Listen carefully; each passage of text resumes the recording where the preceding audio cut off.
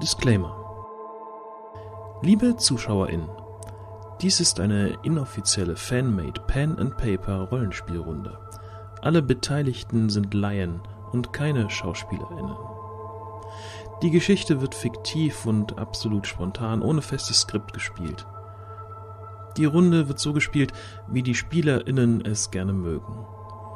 Diese Art das jeweilige Spiel zu spielen und oder die Spielwelt zu erleben, kann von deinen Erfahrungen und Erinnerungen teils erheblich abweichen. Lass uns unsere Erlebnisse.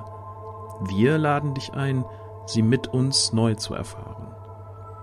Solltest du Handlungsstränge erkennen, bitten wir dich, wenn es denn unbedingt sein muss, diese nur mit Spoilerwarnung zu kommentieren. Beim Spiel kann es zur Thematisierung verschiedenster Ismen kommen. Sollte dich eine Thematik oder eine Verhaltensweise stören oder triggern, bitte achte auf dich selbst und spule vor, zurück, überspringe eine Folge oder schaue etwas anderes.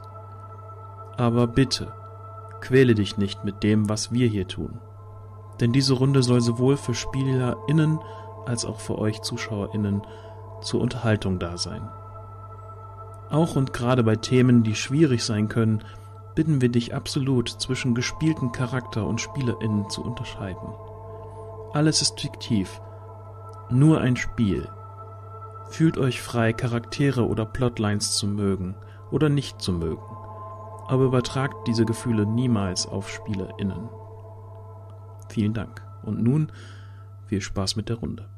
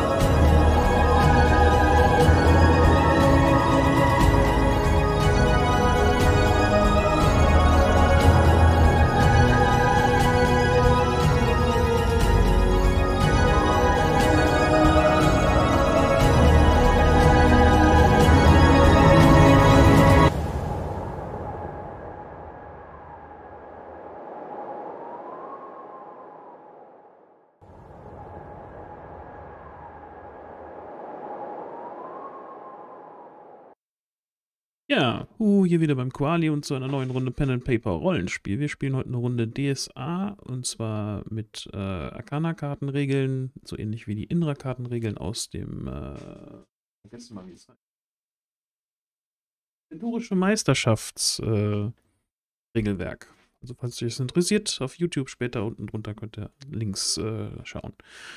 Heute haben wir wieder unsere schöne äh, illustre Truppe dabei. Nämlich, wir haben dabei den Osse als Astanio, den Weißmagier. Erst zum Gruße. Und den Marot als Jandrik, den Golgariten. Hallo. Und den Kako als Osko, den Pereinen-Novizen. Pereine zum Gruße. Dann haben wir Elanor als Ilena, die Amazone. Eloyen zum Gruße. Und last but not least, Sierra spielt Mora, die Schmugglerin. Hallo, guten Abend. Ja, schön, dass ihr alle dabei seid ähm, da draußen im Chat. Ähm, ja, fühlt euch herzlich willkommen geheißen. Ähm, sei schon mal vorweg gesagt, falls jetzt hier gerade jemand Neues zuschaut. Ähm, wir sind mittendrin in unserer Kampagne, aber ich hoffe, ihr kommt trotzdem mit ähm, seht es uns aber nach, wenn wir gleich nicht auf eure Stream- oder Chat-Nachrichten reagieren können, weil wenn wir gleich in Time gehen, dann ähm, braucht das die, die meiste Aufmerksamkeit. Und deswegen äh, ja, seht es uns ein bisschen nach. So, wir haben, äh, wir spielen immer noch 1037 nach Bosporans Fall in Aventurien in der Ostrabenmark. Hier nochmal eine Einblendung davon, damit ihr irgendwie grob wisst, wo wir sind. Wir sind ähm, auf der linken Seite seht ihr so eine gestrichelte Linie, das ist der Todeswall. Wir befinden uns ein bisschen weiter östlich davon, nicht viel, aber ein bisschen im Niemandsland. Äh, zumindest ist das nicht beschriftet, wo wir da ganz gerade sind. Ähm, die HeldInnen haben beim letzten Mal das kleine Dorf Neu-Ogrenwacht hinter sich gelassen. In einer mehr oder weniger Nacht- und Nebelaktion sind sie äh, geflohen aus dem Dorf ähm, noch das Nötigste mitgenommen und haben äh, drei befreite Kinder, die sie von einem dubiosen Händler aus seinem Karren befreit haben, mitgenommen und ebenfalls ähm, ja, das, äh, die Tochter von äh, Elena und äh, sind in einem Planwagen von Mora mit einem neu gekauften Pferd, das ähm, ja, Jandrik erstanden hat für drei Silbertaler. Ein austrainiertes Schlachtross für drei Silbertaler hat er gekriegt.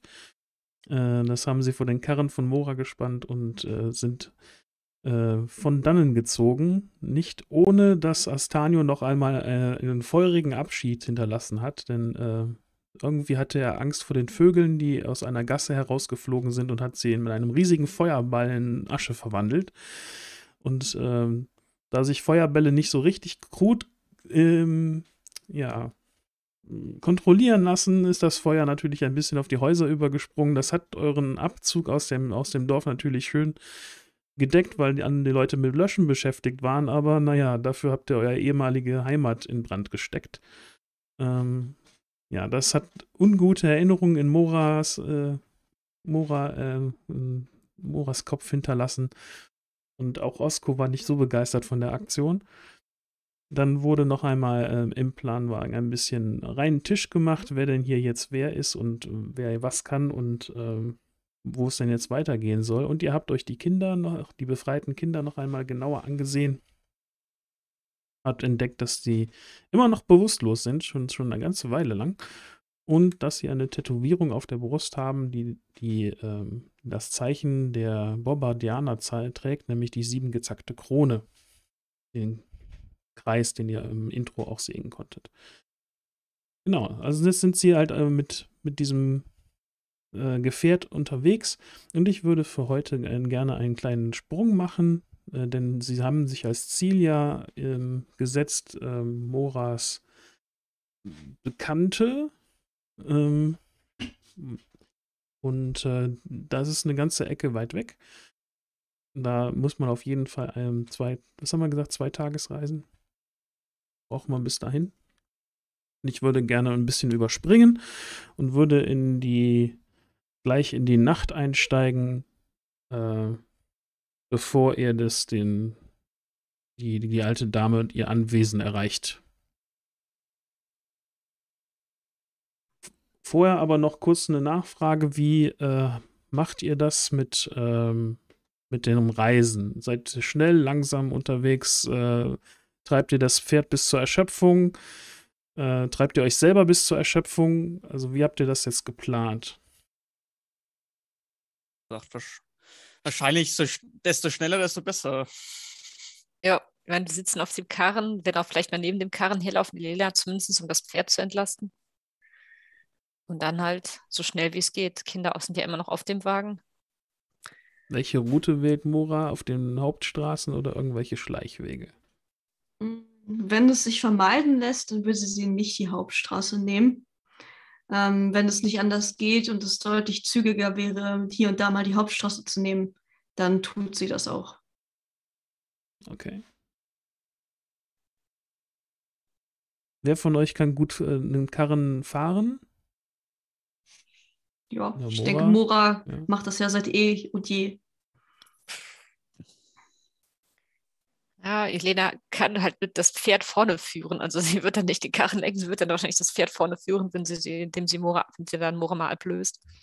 Die mhm. Kutsche fahren ist doch was anderes wie ein Pferd reiten. Sie so ja, auf dem Kutschpferd sitzen, glaube ich, geht nicht so wirklich drauf reiten, sei denn es ist spezielles Geschirr. Wie das Sie wird halt auch mal die anderen aus? Pferdeführung übernehmen.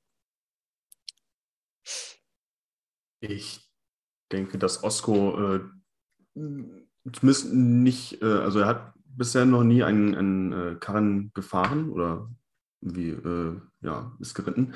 Aber ich denke mal, das würde der auch nur für hinkriegen. Ansonsten würde er auch natürlich, äh, sollten die anderen mal Schlaf nachholen müssen, wird Osko auf jeden Fall dann die letzte Wache übernehmen zum Sonnenaufgang, da er dann noch ein bisschen Zeit hat, wieder äh, sich mal seinen, äh, seinem Buch zu widmen, was er auch bei sich trägt.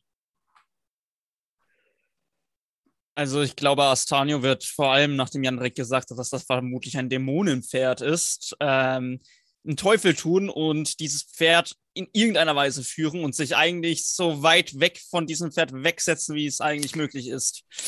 Nie im Leben, nicht, nicht, das, das hat man ihm anders beigebracht. Ja, und Jandrek kann zwar reiten, aber äh, mit einem Karren ist er noch nie gefahren, hat ihn zumindest noch nie geführt. Und deswegen tut er das auch nicht und ähm, hält sich an Osko und ähm, ruht sich aus, nachdem er ja einen ziemlich turbulenten Tag hinter sich hat. Ja, die, die Reise wird dann wahrscheinlich ähm, sehr anstrengend sein für euch alle, wenn ihr, wenn ihr es auf Schnelligkeit anlegt. Wird da niemand großartig jetzt äh, sich ausruhen können bei dem, bei dem ganzen Aktion. Aber gut. Ähm, gehen wir dann in Time, es sei denn, jemand hat noch, noch etwas zu erwähnen.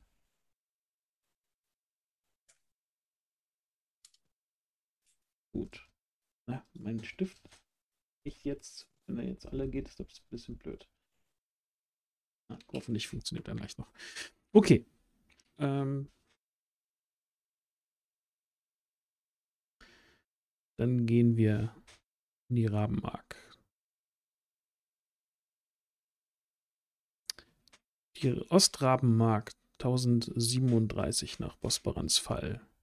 Es ist äh, einen Tag später, eineinhalb, einen Dreivierteltage. Es ist die Nacht, bevor ihr die alte Dame erreicht, zu der Mora euch leitet. Niemand von euch kennt sie. Ihr seid darauf angewiesen, dass diese Mora, die ihr bis vor ein paar Tagen noch für relativ zwielichtig gehalten habt, alle bis auf Osko, dass sie schon weiß, wem man vertrauen kann hier in der Ostrabenmark und wem nicht. Vielleicht ist dem einen oder anderen von euch bei dem Gedanken auch unwohl, euer Heil in den Händen einer solchen Person zu lassen und vor allen Dingen nicht zu wissen, auf wen ihr da jetzt zusteuert. Und auch Mora weiß gar nicht, ob die alte Dame überhaupt noch lebt, weil die war es schon ziemlich alt, als sie das letzte Mal gesehen hat. Und das ist auch schon einige Zeit her. Die alte Dame wohnt, so viel hat euch Mora verraten, auf einem alten Gutsanwesen weit ab von einer, äh, von einigen Dörfern. Nicht außerhalb von jeglicher Reichweite, aber fern genug ab von der Zivilisation, als ob jemand sie behelligen würde, der einfach nur so durchreist. Von daher das perfekte Gesche Versteck für eure drei Kinder, die ihr mit euch führt. Die drei, die immer noch schlafen. Und das eine Kind, was nicht schläft, sondern sich lauthals beschwert, ob der Strapazen eurer Reise. Ja, sie kann ja auf dem Wagen sitzen, auf dem kannst du auf dem Wagen sitzen. Scheuch sie, scheuch sie jetzt dann nicht darunter. Rappelt ruckelt. Musst du mitleben. Ihr habt euch entschieden, oh, fast ohne Rast, nur die nötigsten Rast, äh, Ruhens einzunehmen, schnell, so schnell es geht, durch die Ostrabenmark zu reisen. Das Wetter hat sich etwas verbessert, der Regen hat aufgehört und hat Platz gemacht für einen ja nass kalten, nebligen, dunstigen, grauen Tagesablauf. Die Sonne kommt nur sehr selten hinter den Wolken vor. Und da die meisten Bäume schon ihre Blätter verloren haben, wirkt diese, dieser Teil eurer Fahrt, weil Mora euch von den Straßen ab durch einige Waldstücke führt, noch trostloser als es vielleicht noch war, als Jandrik vor ein paar Wochen hier durchgekommen ist. Ganz in der Nähe. Diesen Weg, den Mora jetzt einschlägt, hat Jandrik nicht gefunden. Oder nicht gehen wollen. Jandrik weiß, dass er jetzt wieder genau in die falsche Richtung unterwegs ist. Aber das Heil der Kinder geht vor. Jetzt. Hauptsache, es geht schnell. Er guckt etwas unzufrieden in die andere Richtung. Er weiß, er muss dahin, so bald wie möglich. Aber ja, das Heil der Kinder geht vor. Er ballt die Fäuste und sagt nichts. Euer Pferd, das sogenannte Dämonenpferd mit dem Namen Schwinge, braucht relativ wenig Zuwendung. Es führt euch schnell und schnurstracks dorthin, wo Mora oder die anderen, die den Wagen lenken, es hinführen. Hin und wieder ein Schnauben, manchmal bleibt es stehen und meistens dann, wenn Jandrik in sich gekehrt im hinten auf dem Wagen sitzt, merkwürdigerweise. Manchmal aber auch, wenn Osko hinten sitzt und die Augen geschlossen hat. Hin und wieder, wenn Astanio schimpft, dass es nicht so schnell weitergeht. Und einen Praios-Fluch über den Lippen stößt. Von Elena lässt es sich nur sehr unwillig und widerwillig führen. Einzig Jandrik, wenn er nicht in sich gekehrt ist, und Mora können das Pferd schnell bewegen. Das mehr lernt ihr schnell.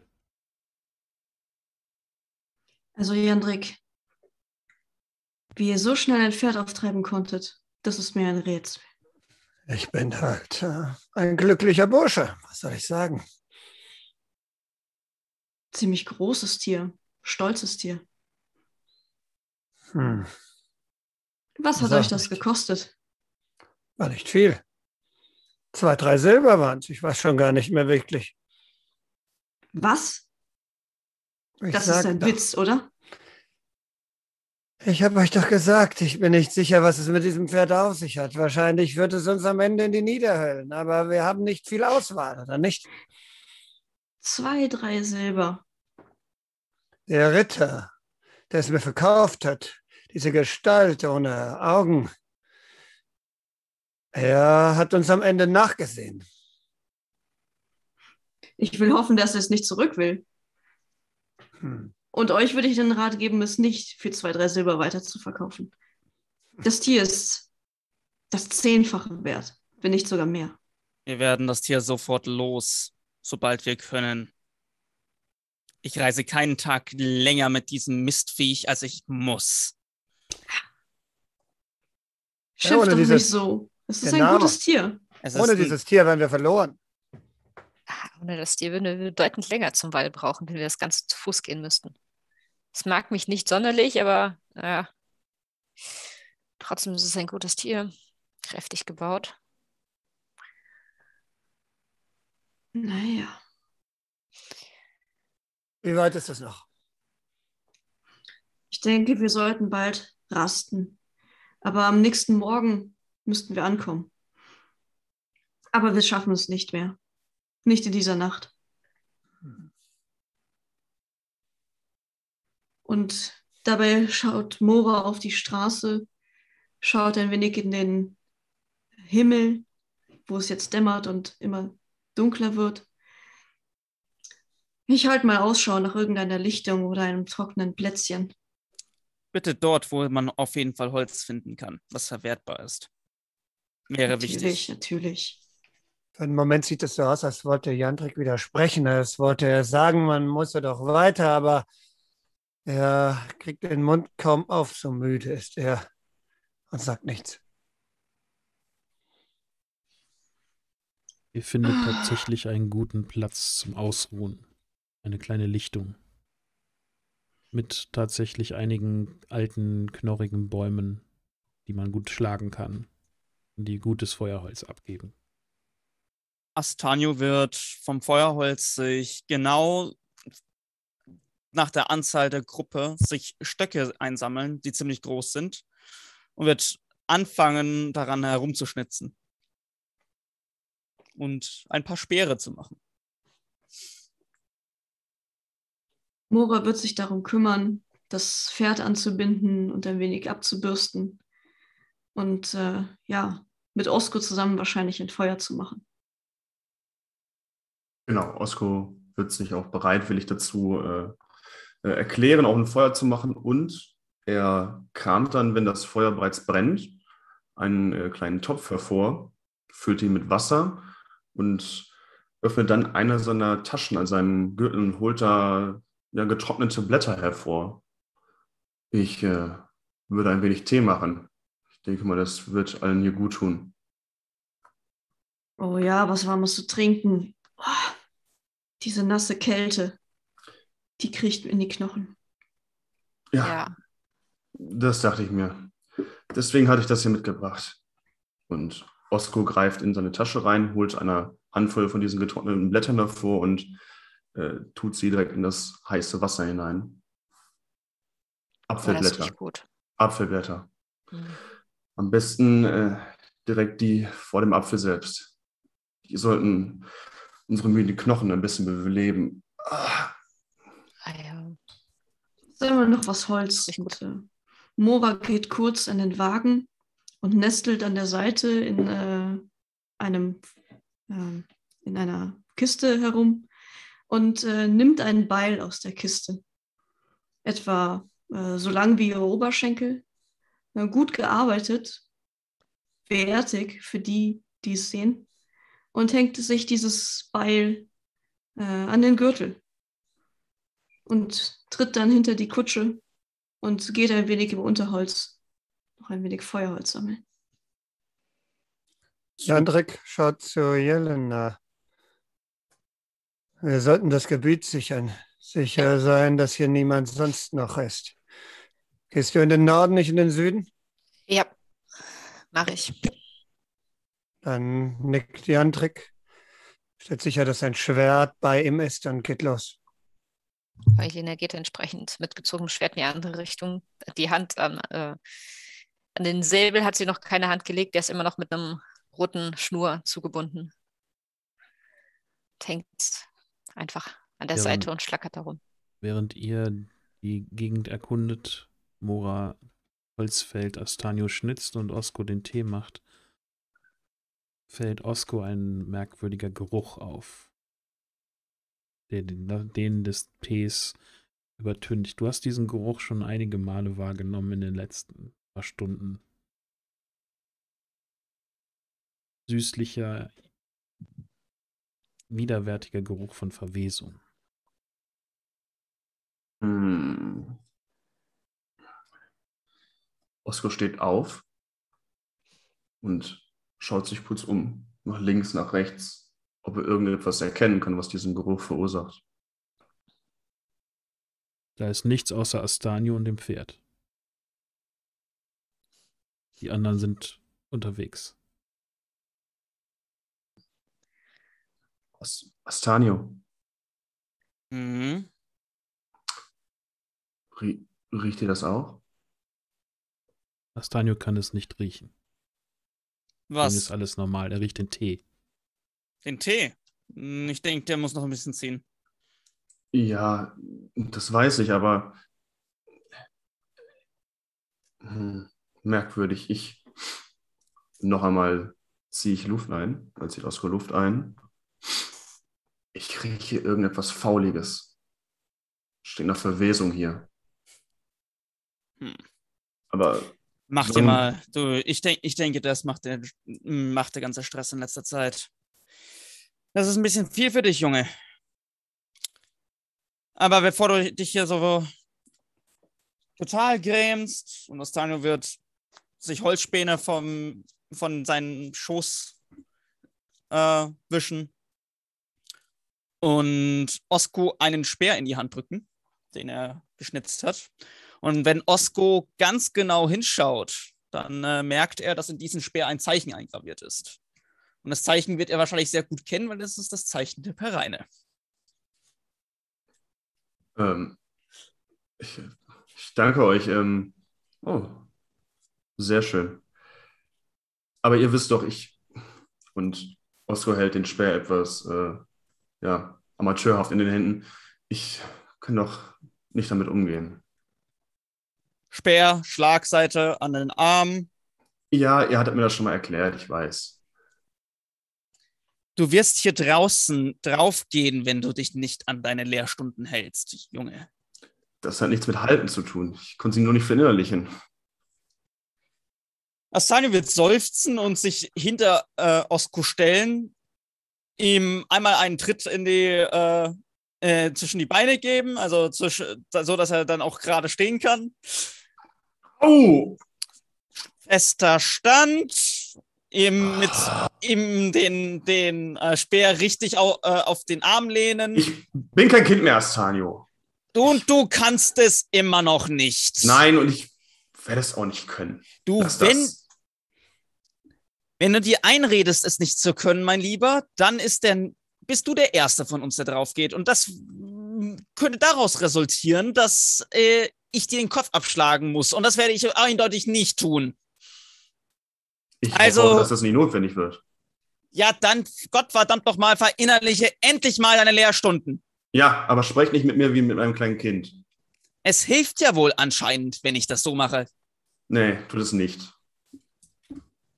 Und Osko schlackert einmal seine Beine aus und schaut etwas sauer, grämig in, sein, in Astanios Richtung. Bin kein kleines Kind mehr. Und du verhältst dich trotzdem meistens noch so. Ihr auch. Ich erinnere mich nur an gestern oder vorgestern. Scheinbar etwas, was wir gemeinsam haben. Auf einem Ast hinten, hinter Astanio auf einem Baum sitzt ein Rabenvogel und krächzt vor sich hin. Ehe er die Flügel ausschlägt und in den Himmel zieht.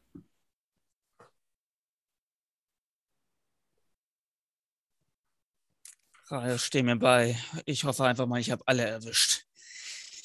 Und dass das einfach nur eine normale Krähe ist. Hm. Wollen wir es hoffen?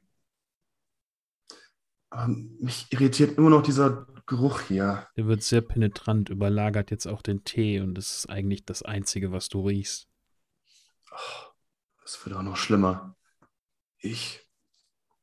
Ich gehe mal kurz, vielleicht liegt irgendetwas hier in der, in der Nähe. Oder Gehst so. bestimmt nicht alleine. Wenn, gehen wir zu zweit. Ich kann zwar hier nichts riechen, aber ich vertraue dir mal deine Nase. Und Nastanio wird das Schwert von Alrizio zücken. Und halt den Speer gerade. Ja. Lass erstmal kleinere Kreise um das Lager ziehen. Ich will mich noch nicht so weit entfernen. Immerhin sind Jandrik und Elena ja schon unterwegs, in verschiedenen Richtungen zwar, aber sie werden sich einer Sache ziemlich gleich gewahr. Neben dem lauten Holzhackengeräusch von Mora und einigen wütenden, also etwas leiser würden werdenden Geräuschen von Astanio und Osko, dem Schnauben des Pferdes und dem Krächzen eines Rabenvogels, werdet ihr nun gewahr, dass die Wolkendecke ein bisschen aufreißt und das Mardermal freigibt.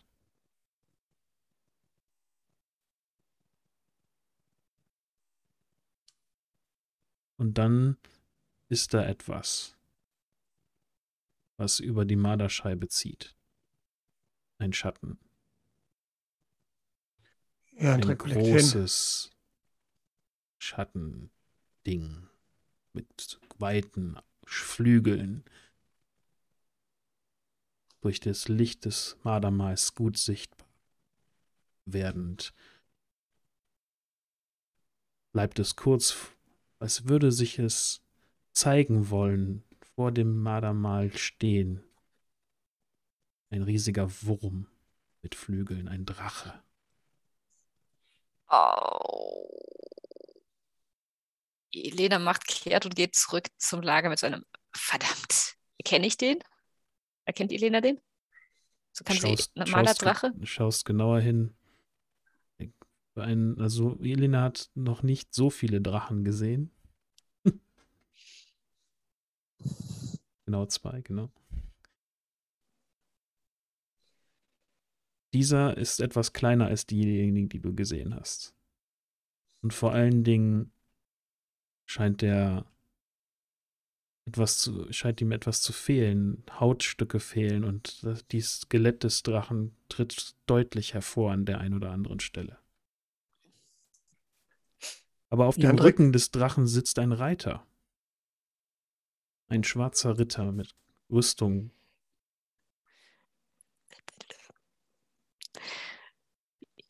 Elena rennt zurück zum, zum, äh, zum Lager. Jandrik hat exakt noch keinen Drachen bis jetzt gesehen. Und er starrt erstmal, blickt da hoch.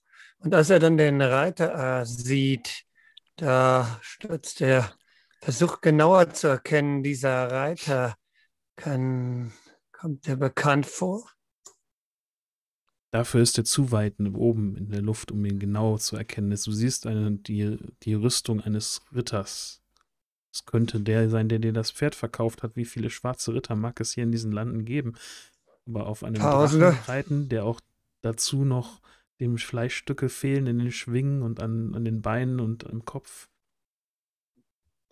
Aber dieser Drache, er sieht so aus, als flöge er weiter oder ist er im Er Begriff bleibt zu landen? kurz stehen, als würde er wollen, dass ihr ihn seht, genau vor dem Licht des Madamais und fliegt dann weiter hinter die Wolken.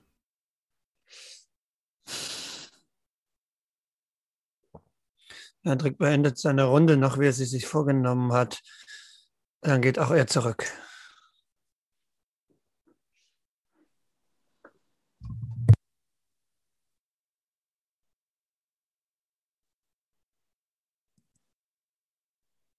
Astanio und Osko haben das gar nicht richtig wahrgenommen, weil sie auf dem Boden irgendetwas Verwesendes suchen und gar nicht auf, den, auf das, was am Himmel ist, geachtet haben. Vielleicht hat Mora es wahrgenommen, wenn sie nicht zu abgelenkt war durch das Holzhacken.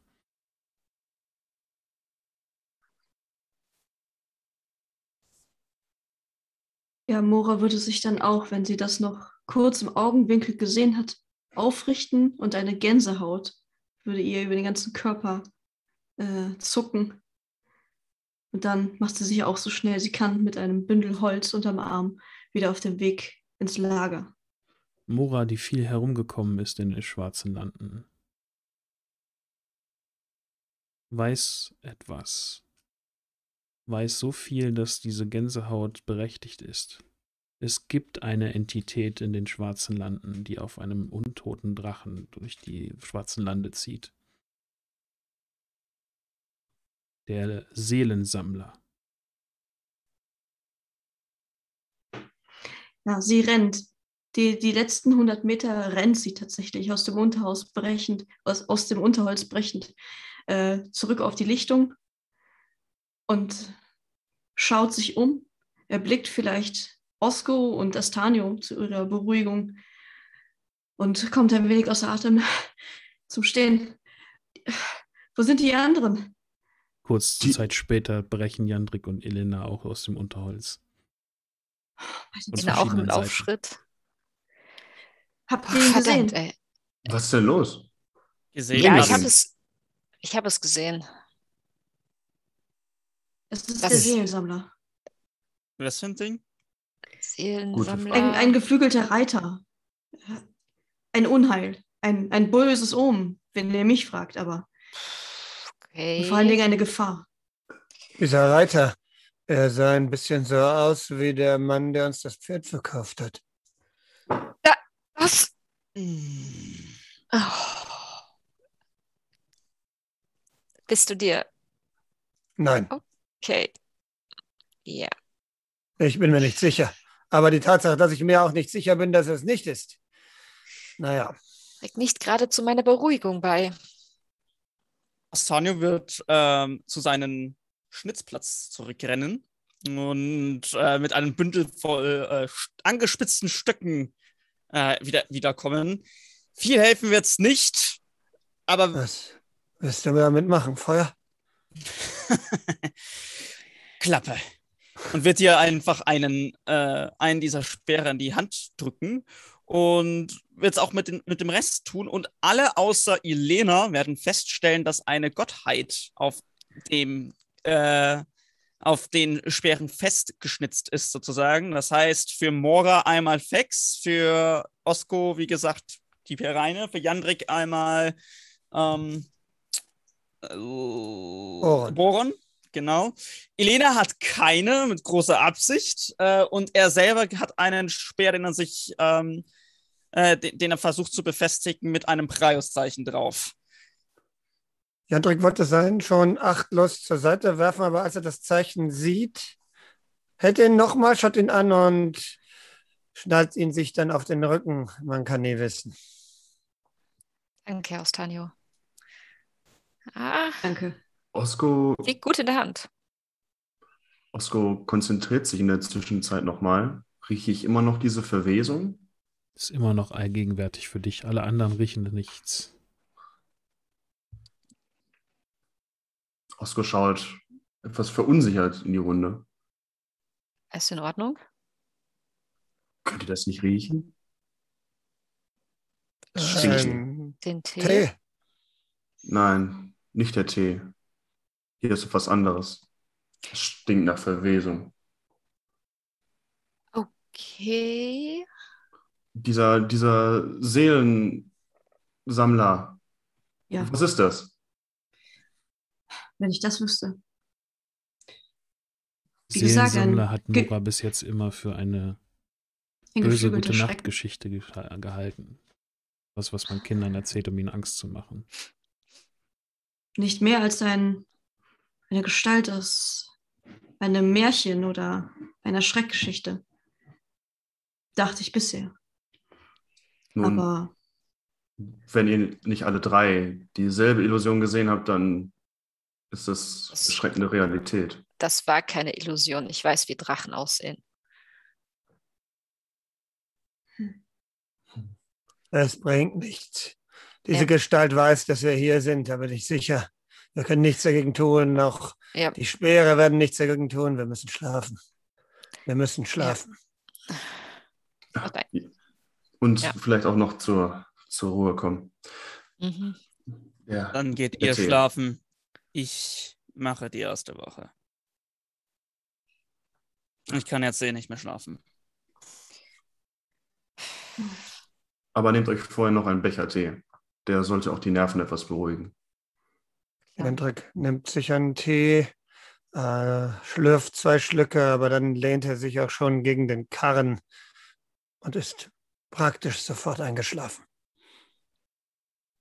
Nora Ein- nimmt sich, Kurzes Gebet noch auf den Lippen.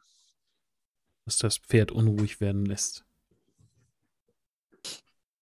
Mora würde sich auch einen Tee nehmen, zwei, drei Schlucke trinken und dann nochmal auf den Wagen klettern und versuchen, einen, ein wenig warmen Tee den schlafenden Kindern zu geben, ob sie zumindest trinken oder trinken müssen.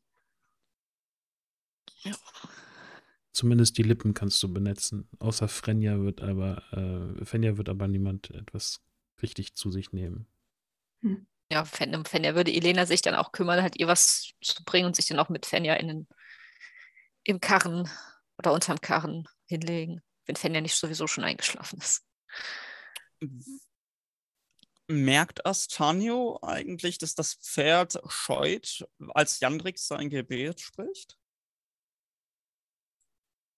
Ich habe es so verstanden, dass Jandrik das so in sich hineingemurmelt hat. Ich weiß nicht, ob das so si- sichtbar erkennbar war. Ich denke eher Er nicht. war schon halb im Schlaf. Es ist eher ein gut trainierter Reflex, dieses das- letzte Gebet an Boron zu richten. Das, was Astanio m- mal mitkriegt, ist, dass es öfters mal unruhig wird. Vor allen Dingen, wenn Elena in ihre Nähe, in, in des Pferdes Nähe kommt oder Jandrik. Oder Osko. Dann wird sich Astanio, wenn alle eingeschlafen sind, mal dem Pferd nähern und das Pferd untersuchen. Das Pferd steht da. schnaubt vor sich hin. Das ist ein ganz besonderes Viech. Und wird irgendwie Anstalten machen, zu gucken, ob er irgendwo Rippen oder äh, Knochen aus diesem Pferd herausstehen sehen wird. Es ist ein wohlgenährtes, starkes Schlachtross.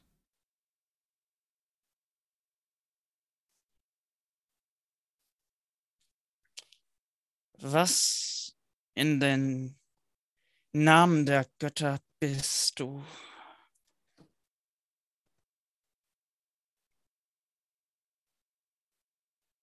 Und Nathaniel wird sich abwenden vom Pferd und äh, still vor sich hin summen, während er die Wache hält. Als Osko eingeschlafen ist, wacht er kurze Zeit später, schlägt er die Augen wieder auf. Zuerst das eine, dann das andere. Du blickst hinauf auf die dunklen Schlieren, die über den Himmel ziehen, nun wieder an dem Mardermal vorbei. Eigentlich ist es stockdunkle Nacht. Warum bist du denn wach? Du hörst noch, wie Astanio irgendwie herumstreift. Es ist noch nicht deine Zeit, Wache zu halten. Eigentlich schläfst du immer wie ein Stein, wenn du den Tee getrunken hast. Aber da, eine kleine Bewegung, ein Flügelschlagen. Oder war das eine Einbildung? Schnell blickst du umher und stellst fest, dass du dich ja nicht bewegen kannst. Wolltest das Tanio rufen, weil das Flügelschlagen aus seiner Richtung kommt, aber du kannst dich nicht bewegen, du kannst deine Lippen nicht mehr bewegen, deinen Kopf nicht drehen. Deine Augen blicken panisch umher, dein Puls beschleunigt sich, aber dein Körper bleibt still und nutzlos liegen. Aus dem Gebälk heraus fliegt ein Vogel über Astanio hinweg, lässt sich aufs, zuerst auf seinem Kopf nieder und er scheint es gar nicht zu bemerken. Dann stößt der Vogel sich ab und flattert zu dir herüber. Ein pechschwarzer, prachtvoller Rabe,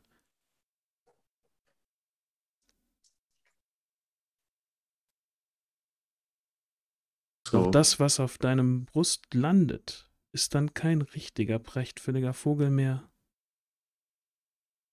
Der Vogel legt den Kopf schief und nun sieht er aus wie ein gerupfter und gebeutelter Vogel.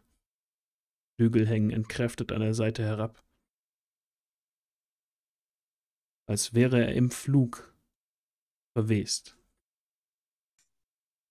Er nähert sich deinem Gesicht und für einen Moment fürchtest du, dass er nach dem Letzten trachtet, was du von deinem Körper noch kontrollieren kannst, nämlich deine Augen. Und dann berührt er deine Stirn und dein Blick schweift weit in die Ferne ab. Alles verschwimmt vor deinen Augen. Und du siehst nur noch einen großen Baum, der sich majestätisch wie er über den Raben erhebt. Viele, viele Raben siehst du auf den, auf den Ästen des Baumes sitzen. Der Rabe erhebt sich, lässt seine Brüder und Schwestern auf dem Baum hinter sich, schwingt sich auf in eine klare, dunkle Nacht, eine andere Nacht, als du eben noch gewahr warst, ein freier Sternenhimmel. Immer weiter geht sein Flug bis in die Sterne selbst. Aus seinem Flug wird ein Trudeln, dann ein Fallen, und immer tiefer in die sternenlose Finsternis fällt er. Seine Federn werden von ihm gerissen, Haut und Fleisch beginnen sich nun zu lösen, und noch immer stürzt er weiter, schneller, tiefer. Weiße Berge, Hügel schälen sich aus der Dunkelheit. Ein fahler Glanz geht von ihm aus. Sanft setzt sich der Vogel nun auf den Boden. Es raschelt, knackt, wie wenn Holz auf Holz trifft. Doch nicht Holz verursacht das Geräusch, sondern Knochen und Gebein, Hügel von Knochen, nein, Berge von Knochen.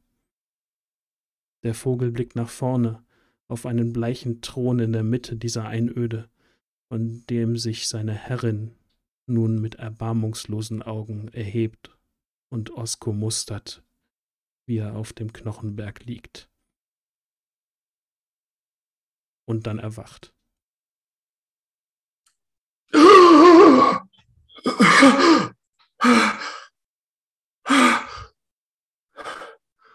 Osko richtet sich auf.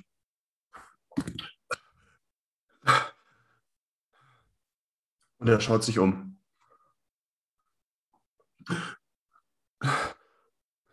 Siehst wieder den Wagen, du siehst Astanio, die anderen, die sie schlafen. Mit schreckgeweihten Augen schaut er in Astanios Richtung. Astanio! Hm?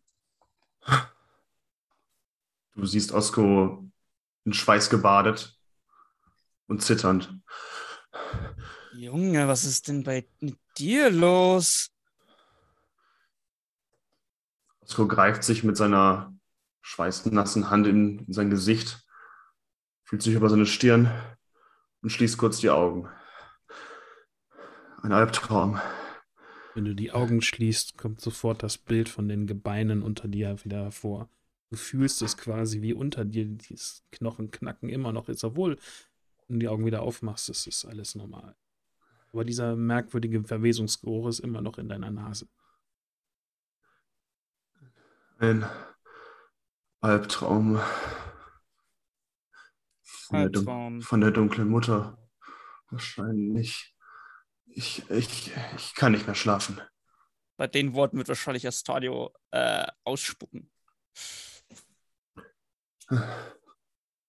Osko schiebt sich nur schwerfällig nach oben und tritt dann zu dir ins Feuer. Es war grauenvoll. Ich, ich lag zuerst da, aber ich konnte mich überhaupt nicht rühren. Nichts, nur meine Augen konnten umherblicken und da, da war wieder dieser, dieser Rabe. Ihr erinnert euch doch. Und vorhin. Aber Ja, das sah eigentlich prachtvoll aus. Aber ich konnte mich nicht rühren. Gar nichts davon. Und nachher so viele Raben und ein, und ein Baum voll von ihnen.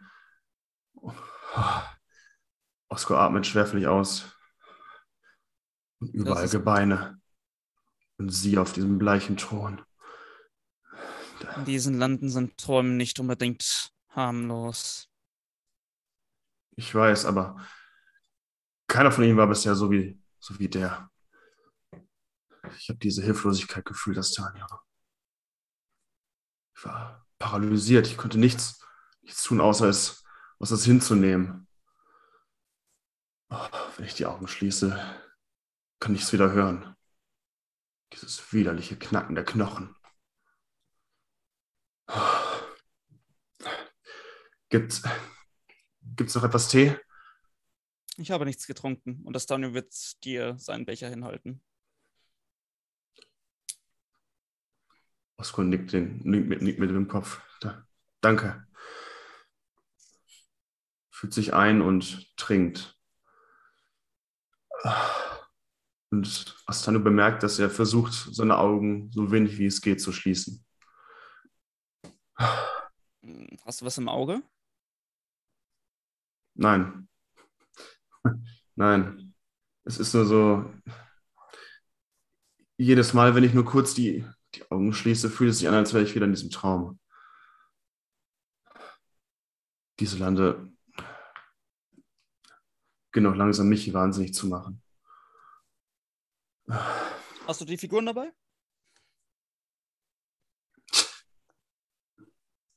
Ein kleiner Moment. Und Osko geht wieder zu seinem Rucksack, den er an seiner Schlafstätte hat liegen lassen und kramt tatsächlich auch die Figuren hervor. Die hätte ich doch niemals da lassen können. Sehr gut, sehr gut. Und das Tanjo malt mit äh, seinem neu errungenen oder neu geschnitzten Speer sozusagen das Spielfeld auf. Ich denke, schlafen wirst du eh nicht mehr können und das lenkt dich zumindest ein bisschen ab. Vielleicht kriegst du es sogar hin, mal deinen alten Meister zu besiegen. Äh, aber ich, ich, ich glaube nicht. Und das Nee, schon. wird sich grinsend hinsetzen. Wenn schon nicht im wachen Zustand, dann vielleicht halt im Geschwächten. Kommt, wir spielen eine Runde. Abseits von eurem Spiel äh, findet Elena nur schwierig Schlaf, wälzt sich hin und her. Immer sich versichernd, dass ihre Tochter noch Squeak-Schleifen tut.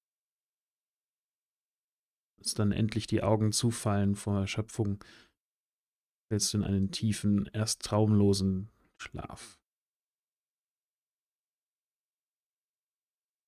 Doch dann schält sich ein Bild heraus.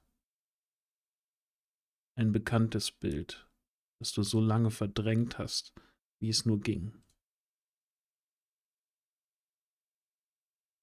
Das Bild von Kurkum und der Schlacht, die letzten Atemzüge deiner Königin.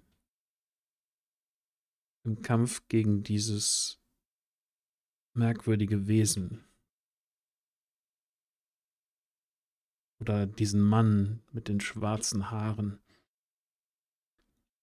der die Seele deiner Mentorin nehmen wollte und die mit einer letzten Gebet an Rondra sich davor retten konnte.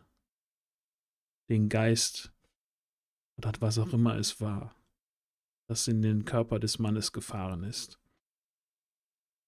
Der dann mit den grünen Augen und diesen merkwürdigen, schnell gewachsenen Schwingen der Hochkönigin ein Ende bereitet hat. Ohne dass du etwas machen konntest. Ohne dass du einen Finger rühren konntest. Hilflos, zusehend. Und doch genau wissend, dass jede Konfrontation mit ihm dein Ende bedeutet hätte. Und so findest du keine Ruhe, keinen ruhigen Schlaf, sondern hörst immer nur die letzten Todesschreie, die eigentlich gar nicht genauso waren, aber in deiner Vision, in deiner Erinnerung sieht es viel erniedrigender aus, als es in Wirklichkeit war. Und diese tiefgrünen Augen starren dich an. Ein Nicken, ein Lächeln siegessicher. So war es nicht, so war es nicht. Und doch schreitet er auf dich zu, reicht dir seine Hand.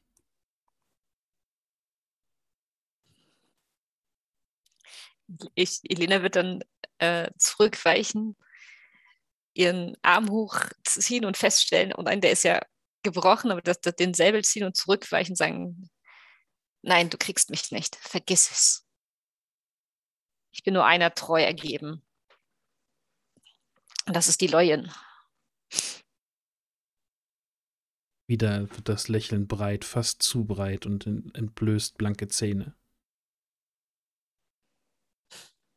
Dann hebt sich ein skelettartiges Pferd aus dem Boden, als würde es durch die aus den Knochen der Gefallenen erstehen. Hm. Und der Mann, der nun eine schwarze Rüstung trägt, schwingt sich auf den Rücken. Und dann hörst du ein Wir werden sehen, wer wem nützt. Und Elena erwacht. Sie erwacht auch aber mit einem tiefen Atemzug, schaut zu ihrer Tochter, die Gott sei Dank noch ruhig schläft schiebt sie vorsichtig von ihrem zur Seite, kriecht unter der Decke hervor.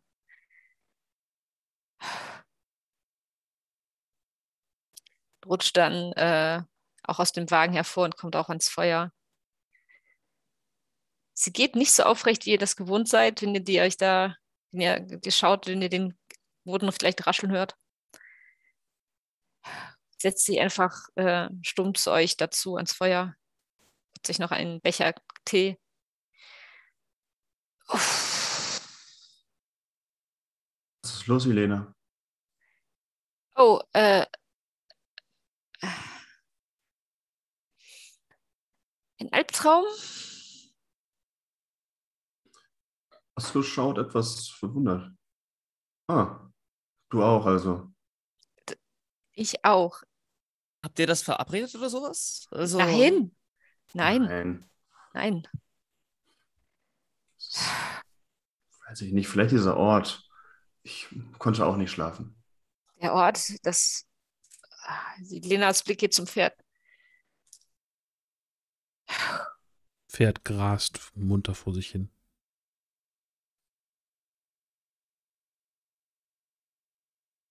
Sobald wir die Kinder gebracht haben, weggebracht haben, wenn wir morgen da sind, werden wir dieses Pferd los.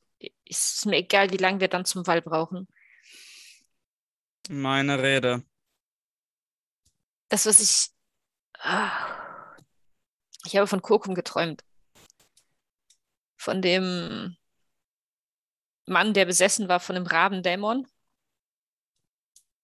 Und er sprach zu mir, er hat, er hat mir die Hand, wollte mir die Hand reichen. Und ich habe halt gesagt, dass er mich nicht, dass ich ihm nicht helfen werde, aber er ist dann auf ein Pferd aus Knochen gestichen, schaute mich an, er trug schwarze Rüstung, so wie Jandrik es beschrieben hat, wie der Herr, den wir gesehen haben, der da stand, sagte, wir werden sehen, wer wem nützt. Also, wer auch immer das ist, scheint noch Pläne zu haben. Und das Pferd mag mich ja nicht. Also Mich wir werden zu Fuß gehen. Ja, es mag uns alle nicht, die wir gläubig sind. Naja, es wundert mich irgendwie nicht hier in diesen Landen. Es mag Jandrik, außer wenn er betet. Ja, Jandrik, außer wenn er betet. Ja, es ist äh, keine seltsam. Und Mora. Und Mora. Ja, Hm. Ja. Komm, äh, komm doch ein bisschen näher. Vielleicht könnt ihr mir ja helfen hier gegen den alten Mann. Ich soll dir helfen. Ich Also ich sehe schon, ich sehe die. Züge und ich weiß, was dir so als nächstes kommt und was du tun könntest, aber du lernst ja nichts, wenn ich dir jetzt helfe. Sie möchte einfach nicht zugeben, dass sie um einiges schlechter ist als ich in diesem Spiel. Und das Talio grinst. Ich bin schlechter wie du, aber ich sehe, ich sehe, was du vorhast. Das sehe ich. Und was Osko dann blüht, wenn er das tut, was ich denke, was er tun wird. Ja, was ich denke, ich ich tun muss, weil mein eigentlicher Plan wieder nicht funktioniert hat. Ich war mir so sicher. Dann nimm das Mal. andere. Nimm das, was, was, was du denkst, nee, wenn ich das mache, das funktioniert nicht. Ja, aber ah, das ist, Und das- wie, es ist wie jedes Mal. Ich habe einen Plan und dann habe ich mich irgendwie verschaut. Die, Astanio f- äh, nimmt eine der Figuren und stellt sie so hin, dass Osko gerade richtig Probleme bekommt auf dem Spielfeld. Ich hab's dir gesagt. Ich hab's Ja. gesehen. ich habe es auch gesehen, aber es ist halt unvermeidbar. Es ist, es ist wie jedes verdammte Spiel hier. Ich, ah, wenn ich nicht von den Träumen, dann werde ich dadurch wahnsinnig. Ich war mir so sicher. Ich- D drei Züge, drei Züge habe ich gerechnet, müssen es sein und jetzt schon wieder. Komm. Also, so wie, wie ich das sehe, brauche ich noch drei Züge, dann bist du. Ähm, nun ja. Jandrik erwacht durch das laute Gespiele am Feuer. Ist das schon, schon morgen? Oh. Verzeiht, Janek, nein. Meine Wache? Äh, Nein. Du Äh, dann- blickst zu den dreien herüber. Nur beleuchtet durch die Fackeln und das, das Feuer. Siehst sie um das Spielbrett herum sitzen. Drei Personen. Sie spielen. Rote und weiße Kamele. Eine Frau, zwei Männer. Einer wirkt schwarz. Einer weiß und die Frau ist relativ schön. ich, Wer soll gewinnen? das ein Traum? Das alles? Und ich bin eigentlich bei dir, Vater. Was ist Traum? Was ist Wirklichkeit? Wer soll gewinnen? Und er hört ihn murmeln und dann ruft er plötzlich relativ laut, warum will ich immer, dass die Frau gewinnt? Ich weiß es nicht. Ich weiß es einfach nicht. Elena spielt doch gar nicht mit. Er hat keine Chance. Ich, Was? Die beiden Ich- Männer bekriegen sich. Die Frau schaut nur zu und grinst.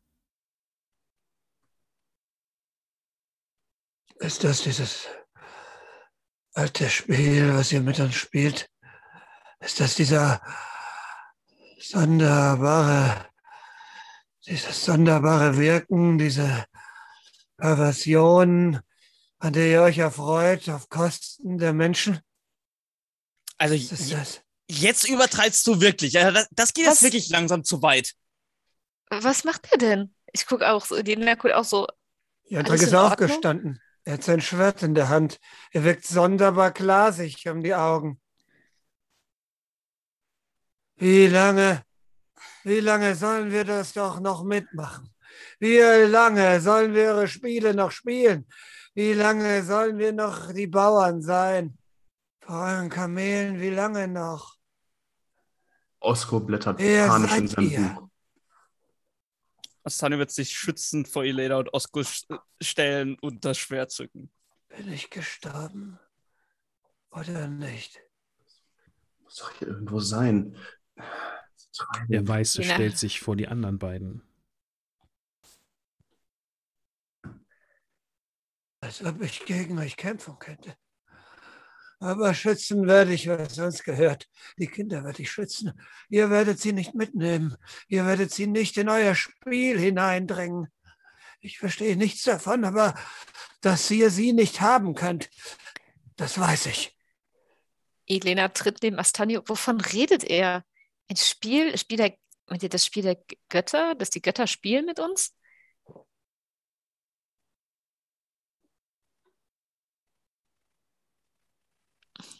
Ich mag gestorben sein, an jedem Tag im Schnee. Aber das ändert nichts. Auch im Tod kann ich Borondin, selbst dann noch mehr. Und ich werde die Kinder schützen, weicht. Ich trete einen Schritt vor.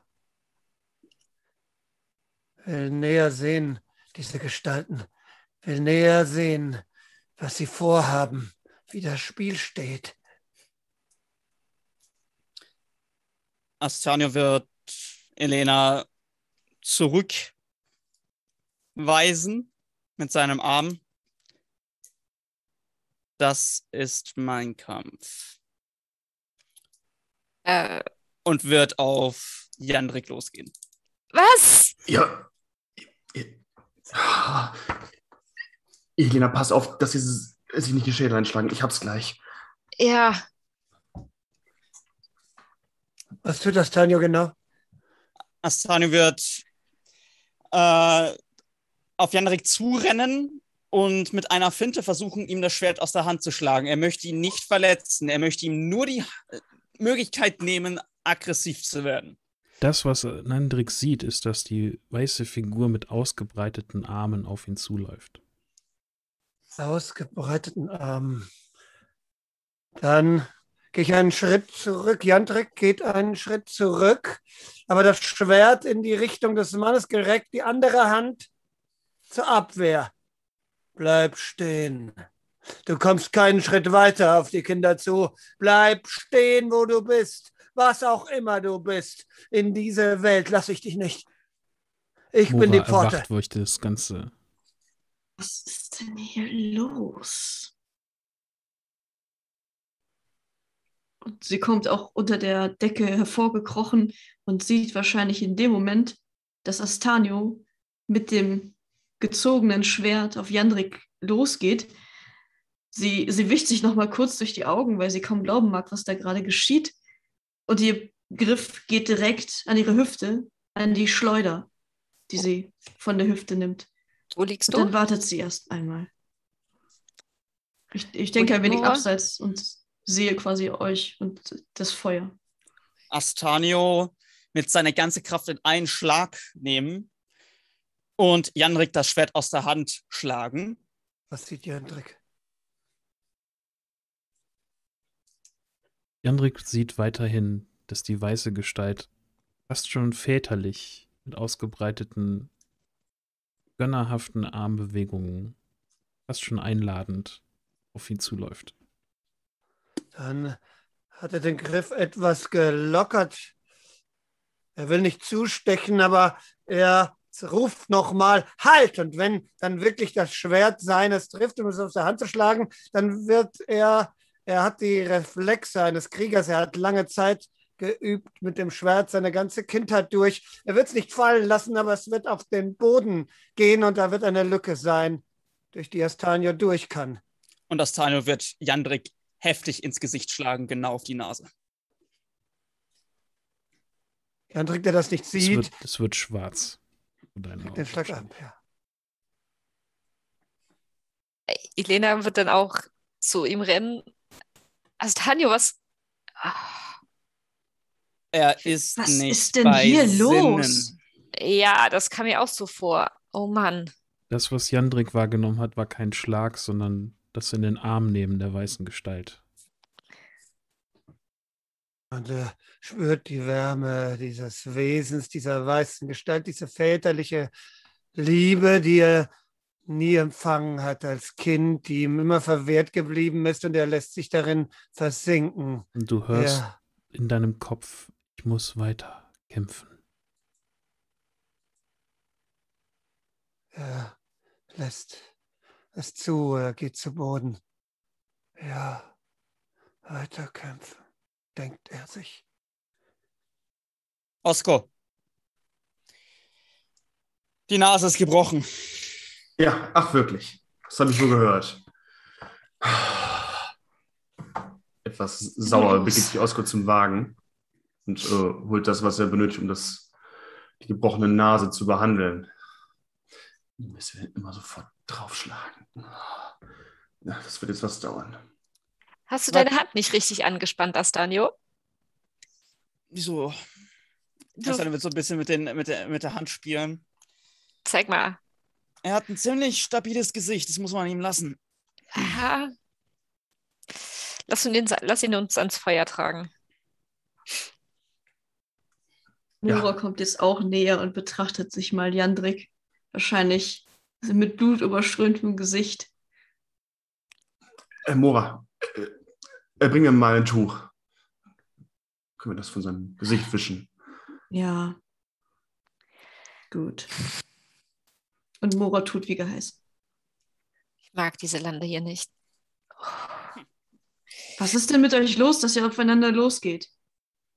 Ja, wir sind nicht aufeinander losgegangen. Wir wollten niemanden Ich habe. schaden, aber Jendrik hat wirres Zeug geredet von, Er hat nicht nur wirres Zeug geredet, er war kurz davor, uns anzugreifen. Und bevor er sich oder andere vor allem, und er schaut so ein bisschen Richtung Elena, verletzt, aber ich gedacht, ich mache ihn lieber kampfunfähig. er, er stand doch mehr in Verteidigungshaltung. Das ist dir nicht aufgefallen. Oder er wollte die Kinder beschützen vor was auch immer wir für ihn waren. Er Hast du scheint, nicht er, er gesehen, scheint dass er angefangen hat, das Schwert zu ziehen? Dann fesselt die- ihn gefälligst, solange er noch ohnmächtig ist. Und es ist doch egal, wer angefangen hat. Er, er hat sich doch verteidigt, er hat sich doch vor sie gestellt. Das, die Kinder verteidigen. Die Frage ist, ja, vor wem, was hat er gesehen in uns? Er hat uns ja angesprochen, als wären wir irgendwer anders. Also so eine Vision, wie wir das anders wie ich das hatte, oder ich weiß gar nicht, was bei, was bei dir war, Osko. nein, nicht sowas. In Träumen kann man Sachen tun, die einem später um einiges an Problemen bereiten. Und wenn ihr mich jetzt mal entschuldigen würdet, ich glaube, meine Wache ist für heute vorbei. Und das dann wird sich wortlos umdrehen und sich zum Schlafen legen. Ja, Mora holt ein Tuch und träufelt etwas Wasser darauf, um Jandrik äh, das Blut aus dem Gesicht zu wischen. Beziehungsweise sie würde es Osko in die Hand legen und dann direkt noch ein Seil holen vom Wagen und anfangen, Jandrik zu fesseln. Was sie ist- wohl sehr geschickt und sehr schnell bewerkstelligen würde. Sie ist es gewohnt, Dinge zu verteuen. Aber das geht doch ein wenig zu routiniert. mir ist nicht wohl bei der Sache, ihn zu fesseln, aber bevor er, wir uns einander was antun. Ihr wisst nicht, ob er aufwacht und bei Sinnen ist. Ja, seine Augen waren auch irgendwie glasig gewesen. Ach, gut, ihr habt es auch gesehen. Ja, eh, seltsam. So. Ist erstmal, ist erstmal weg, dann legt einmal den Kopf in, seinen Kopf in den Nacken. Ja, Ich So probiere das noch. Ja, gut, jetzt. Schon, vielleicht wacht er ja davon auf. Und Osko probiert seine äh, gebogene Nase zu richten. Ich halte ihn mal fest. Die Lena wird den, er ist zwar gefesselt, aber wird sich halt so rittlings irgendwie den schmalen Jandrik festhalten. Mura, Astanio und Elena sehen die kunstfertigen Griffe von Osko. Er hat das schon länger nicht mehr so gemacht, aber er weiß genau, was er da tut. So, jetzt vorsichtig. Ei. Mit dem Knacken und den letzten Worten der weißen Gestalt erwacht Jandrik. Als die weiße Gestalt noch einmal sagt, der alte Streit aus dunkler Zeit von drei Gefährten geführt. Ah, Einst vergessen, vom Vergessen beendet der Streit, nun aber von neuem empfacht. Und dann macht er weiter, den will weitersprechen, aber du erwachst. ah. Als vergessen der alte Streit von drei Gefährten geführt. J- Jandrik, Lang vergessen. Nun wieder. Ich habe doch gesagt. Gut, dass er gefesselt ist. Oh, was, was ist mit. Wo? ich? Ja, ja, ja, ja. Ich, Dein Gesicht tut weh. Oh, was ist passiert? Bin ich gestürzt? Was war? Mm, nicht ganz. Du bist in meine Faust gestürzt, kommt es hinter dem Wagen. Äh, von, von was? Und er versucht sich zu bewegen und merkt, dass er gefesselt ist. Und, Äh, Jandrik, äh, alles, äh, alles gut. Es ist zu unserer. und dann verändert sich seine Haltung plötzlich. Er wird ganz, ganz ruhig und ganz entspannt. Er schließt die Augen. Ach so. Ich verstehe. Wa- Was? Er sagt nichts mehr. Es ist zu deinem eigenen Schutz. Du hast das Schwert gezogen. Wir wussten nicht, Äh, ob du auf uns losgehst oder nicht. äh, es tut uns leid, ich hab-. Teufel werde ich tun. Bindet ihn los. Ja, Mora, das bringt ja nichts. Wenn er nicht mehr mit uns redet, dann kommen wir gar nicht an. Wenn er wieder abhaut. Solange du nicht abhaust, wenn wir dich wieder losbinden. Es war eine reine Ihr habt Notfallmaßnahme. doch gesagt, dass er das Schwert gegen, äh, gegen Astanio erhoben Er hat, es, er hat das Schwert zur Verteidigung gezogen und wollte die Kinder vor, was auch immer Moment. wir für ihn waren, verteidigt Moment. hat. Jandrik, ihr habt geträumt. Nicht wahr? Und, ich, und Osko schiebt sich so ein bisschen in dein Blickfeld. Jandrik. Ich habe nichts geträumt. Ich erinnere mich an nichts. Mora schaut in Jandriks Gesicht. Lüge. schaut dich an. Ausdruckslos. Vollkommen emotionslos. Ich weiß nichts. Natürlich. Wenn das so ist. Astanio bewegt sich hinter dem Karren, weil Schlafen ist jetzt leider wahrscheinlich komplett aus, äh, aus der Welt geschaffen. Und wird Osko zu, beiseite schieben und Jandrik genau in die Augen gucken. Augen sind, wie, Augen sind wieder klar. Und wird den Finger so ein bisschen hin und her bewegen und gucken, ob die Augen in irgendeiner Weise dem Finger folgen. Was ist dein Spiel, Hexenmeister? Mhm. Ich würde mal sagen, unser Freund hier ist wieder komplett der Alte. Und mit diesen Worten zückt Astanio sein Schwert, holt einmal Ros aus und Was? Zerschneidet, Augen. zerschneidet seine Fesseln. Hättest du es nicht mit einem kleinen Messer machen können? Ist nicht so eindrucksvoll. Was soll das? Äh, Wieder dieser Gockel. Magier. Wahnsinnig hier. Mora lässt sich am Feuer fallen, macht es sich ein wenig gemütlich. Aber sie lässt Jandrik nicht aus den Augen. Also was hast du gesehen, Jandrik? Alles, was wir, was uns helfen kann, sollten wir miteinander äh, teilen. Warum war ich gefesselt? Du bist aufgewacht, hast uns irgendwelche Sachen an den Kopf geschrien und hast gesagt, du möchtest Kinder vor etwas beschützen. Du hattest einen ziemlich glasigen Blick. Das könnte entweder davon kommen, dass du besessen warst oder was heißt auch immer. Ich habe jetzt keine Zauberkraft, keinen Tropfen mehr, um eine Analyse an dir durchzuführen. Aber es bestand die Gefahr, dass du uns alle mit deinem Schwert aufschlitzt. Da war es mir lieber, dir eine reinzuhauen, dich zu K.O. zu schlagen und dann meinte Mora, wir sollten dich fesseln. Jemand wie du könnte mir niemals einfach so einer reinhauen. Irgendwie hat er es geschafft. Du hast ihn angeschaut. Ich habe auch gedacht, er muss doch gleich was tun. Du musst doch gleich, er muss doch gleich was tun. Aber du hast ah, nichts getan. Du standest Mann. da, hast einfach nur mit Glasenblicken angeschaut, deine Hand so gehabt und dann hat er dir das, das Schwert runtergeschlagen. Du warst wie, als wärst du woanders, in einer Vision. Wenn wir richtig Pech gehabt hätten, hättest du dich selber verletzt mit dem Ding. Du hast damit rumgefuchtelt wie ein Verrückter. Ja, zwischenzeitlich. Also was hast du gesehen? Der alte Mann hat mich umarmt. Alter Mann? Das war ich... sehr schön. Das war ein Gefühl der Wärme, der Geborgenheit. Astanio wird dich gerade mit erhobener Augenbraue ähm, anstarren. Er hat gesagt, dass ich nicht aufhören darf zu kämpfen. Und das werde ich nicht. Ich habe niemanden ja. umarmt. Wartet, was für ein alter Mann? Ich weiß nicht, ob er wirklich alt ist. Das, sie sind schwer einzuschätzen. Einer in schwarz, der andere in weiß, im ewigen Kampf miteinander verstrickt, eine Frau. Ich habe sie wieder gesehen, dort drüben. Er zeigt da hin, wo das äh, Brett steht. Da standen sie und haben das Spiel der Spiele gespielt. Seit ewiger Zeit miteinander verflochten. Lange Zeit nicht mehr. Doch sie hört, der Kampf ist wieder entflammt. Der Kampf ist wieder entflammt.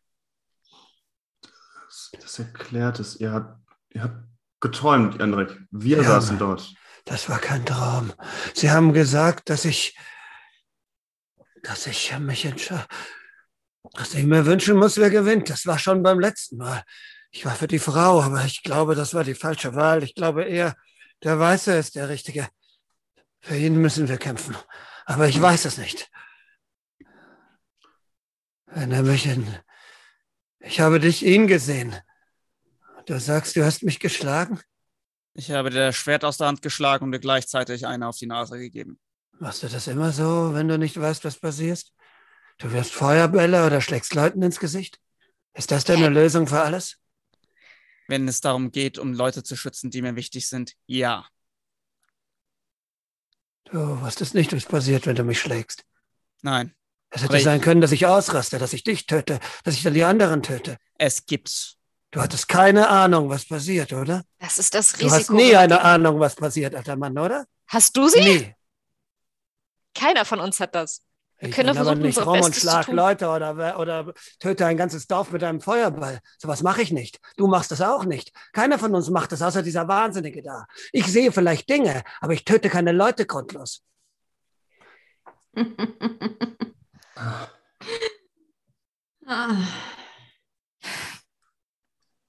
Ich würde es ja gerne auf Übermüdung schieben.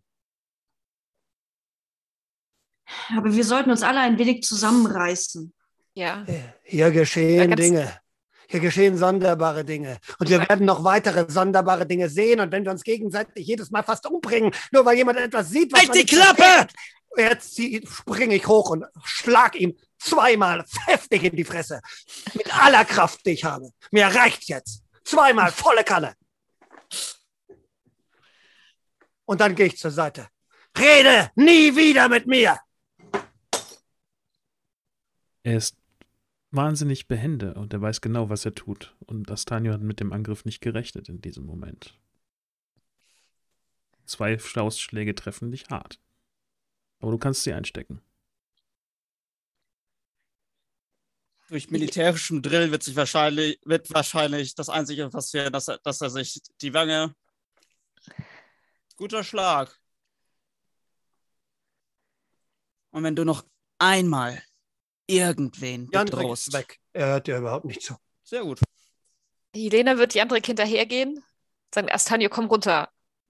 Bitte komm runter. Und Jelena wird ihm Jandrik hinterhergehen und ähm, Jandrik versuchen, an der Schulter zu packen. Jandrik, beruhig dich. Er bleibt stehen. Mir ist eine Idee gekommen. Wollen wir nochmal zurückgehen? Ich habe einen Traum gehabt von einem schwarzen Ritter. Was für ein Traum. Ich habe, ich war wieder in, in Kurkum. Da war der schwarze, vom Raben besessene Mann, der sich in einen Ritter mit schwarzer Rüstung verwandelt hat und mir die Hand angeboten hatte. Und wegen, ich bin halt zurückgewichen, habe ihm nicht zugestimmt. Und dann hat er, ist er auf ein Skelettpferd gestiegen und meinte, wir werden ja sehen, wer wem hilfreich ist. Ich weiß nicht, was Kako, äh, was Osko genau getrunken, gesehen hat, aber irgendwie, wenn wir das alles zusammenziehen, unsere drei Visionen, kommen wir da vielleicht auf einen grünen Zweig? Wenn, Soll ich euch wenn du trauen eine können? Frau gesehen hast, Wie soll ich euch trauen können? Sag mir das. Amazone. Wie soll ich euch trauen können? Wir sind, wir kennen uns einen Tag und in dieser Zeit haben wir uns nur angeschrien. Wir haben ein Dorf halber umgebracht. Wir, wir sind Fremde. Wir alle sind Fremde. Wir kennen uns nicht. Nichts vereint uns. Nichts verbindet uns. was uns eint, ist der Wille, das Land zu befreien? Ist das so? Ja.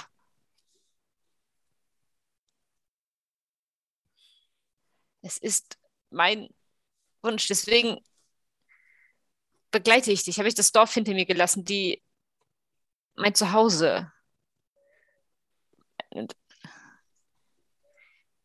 Habe ich euch angegriffen? es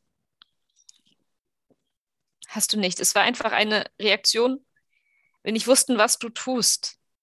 Ich habe diese drei Gestalten gesehen. Und ich bin wütend geworden. Bisschen lauter.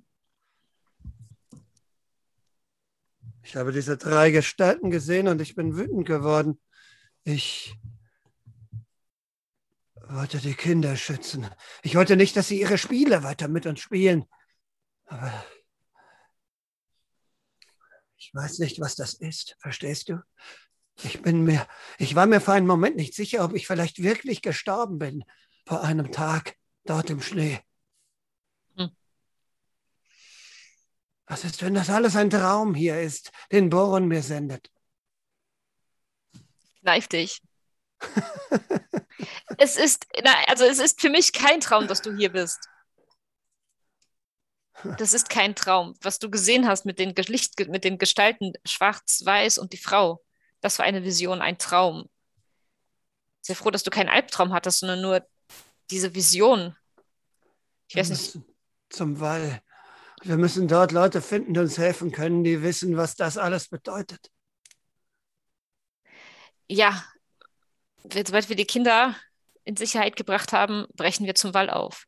Und dort, ja, dort Leute finden, wir keine Leute finden, die uns das sagen können. Also müssten wir schon, dass, wenn dein Orden da ist, da werden wir erst die Informationen und Vielleicht ist es besser, wenn wir uns trennen. du weißt, du bist, warum nein, du wirst das nicht überleben. Ich bin auch hergekommen alleine. Ich werde auch Aber wie willst du über den Wall? Den Wall wirst du nicht überleben, wenn du alleine gehst. Glaub mir. Ich finde einen Weg. Ihr könnt die Kinder wegbringen und ich gehe zum Wall und warne irgendwen, so schnell ich kann. Wen willst du da warnen? Da ist niemand. So Da sind wir zu langsam. Und ich weiß gar nicht, ob ich so lange lebe. Vielleicht gefällt dem Alten ja ein, er will mich morgen in einen Flammenhaufen verwandeln, weil ich irgendwas gesagt habe, was ihm nicht passt. Das wird er schon nicht tun. Ich werde noch mal mit ihm reden. Komm einfach runter. Wenn du alleine gehst, scheitert die Mission. Wir wissen ja selbst nicht, ob sie, ob sie gelingt, wenn wir zusammen gehen. Es schützt jetzt nichts niemandem, wenn du einfach davonziehst, wie gestern im Wald, in den Wald bist. Der Baum hätte dich fast gefressen, wäre ich nicht gewesen. Du kennst dich, kennst dieses Land ja nicht. Wie gesagt, am, am Wall Ich weiß nicht, wie es da jetzt aussieht, aber es war damals schon grausig und gruselig. Dort überlebt niemand. Und über das Gebirge kannst du nicht. Da ist, das, was dir da über den Weg laufen wird, sind Nekromanten, die sich freuen, dass sie Frisch, Frischfleisch kriegen. Jandrik Und vielleicht der ein oder andere Händler. Sackt in sich zusammen. Helena geht mit runter, legt ihm den Arm auf die Schulter. Wenn er mich nochmal schlägt, werde ich ihn töten müssen. Warum? Du, wer, du sagst, wir sind zu brutal und du willst ihn töten, nur wenn dich ein zweites Mal schlägt. Das ist genug. Dann aber das ist kein Grund, eine Person nur deswegen zu töten, weil sie einen schlägt. Er ist ein Mörder. Ich habe gestern nichts gesagt, aber er hat viele Unschuldige Denkst du, dass- getötet. Grundlos. Du hast Völlig gehört, was. grundlos. Ich, mir ist das auch zuwider. Weil du hast gehört, er hat so schon Probleme. Denkst du, ihn belastet das nicht? Er ist sich bewusst dessen, was er getan hat. Geh ihn fragen. Er wird vor dir heulend zusammenbrechen. Ist ein Frack. Genau wie ich. Oder du gerade. Osko weiß ich nicht. Mora auch keine Ahnung. Wir haben jeder unsere Geschichte. Wir haben jeder unser Boronsrad zu tragen. Gut. Die Welt ist nicht voll von Sonnenschein. Absolut nicht. Ach, wirklich? Das ist mir gar nicht Ja. aufgefallen. Wollen wir zurück zum Feuer? Wenn wir zurück. Ja, folgt dir. Ich helfe, wird ihm auch, wird dir auch aufhelfen.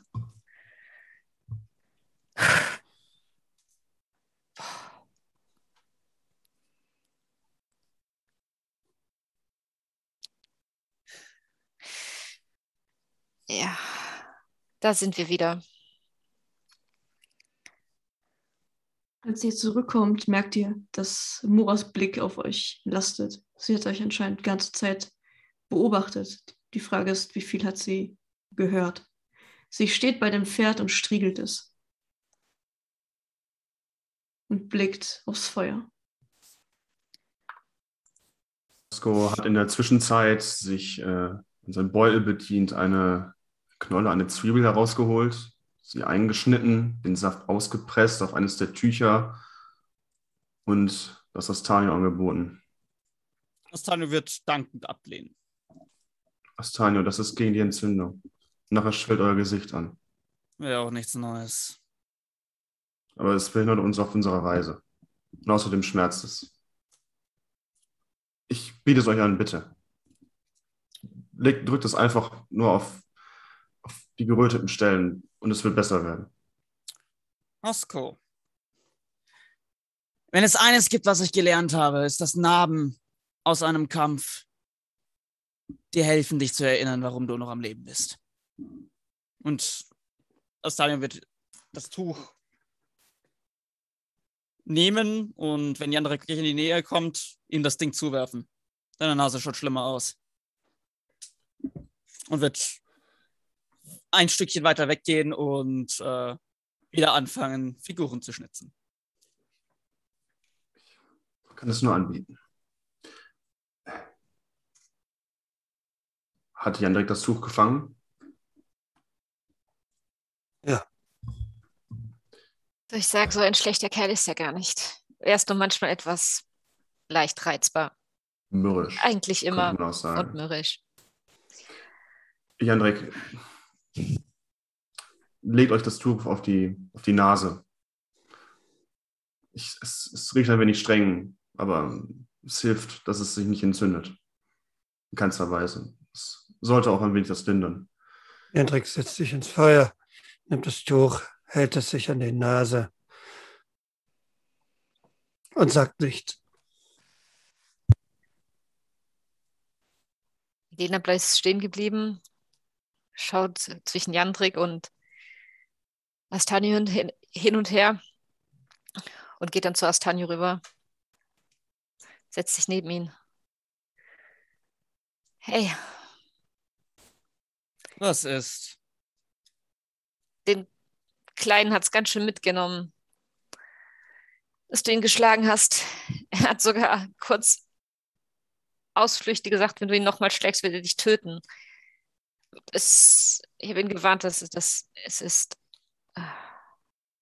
Er überschätzt sich. Er überschätzt sich maßlos.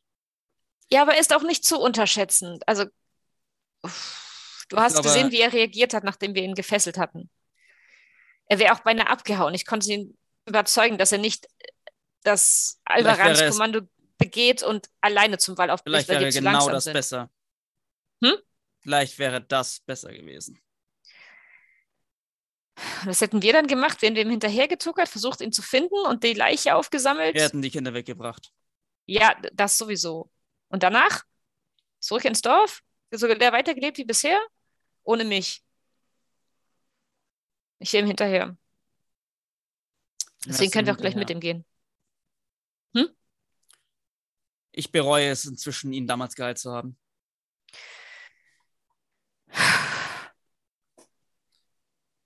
Das ist nur, so wie er sich verhält, ein Aufschub gewesen. Ein Aufschub von einer Zeit, vielleicht von zwei Wochen. Wenn er nicht es endlich hinbekommt, seine hochgetragene, inzwischen krumme Nase nicht ein wenig zu senken, bringt er nicht nur sich, sondern uns um, die Kinder um und jegliche Hoffnung, diesen Weil zu bezwingen. Und ich kann es mir nicht mehr geben. Er ist genauso wie Aretio und die ganzen anderen Vollidioten.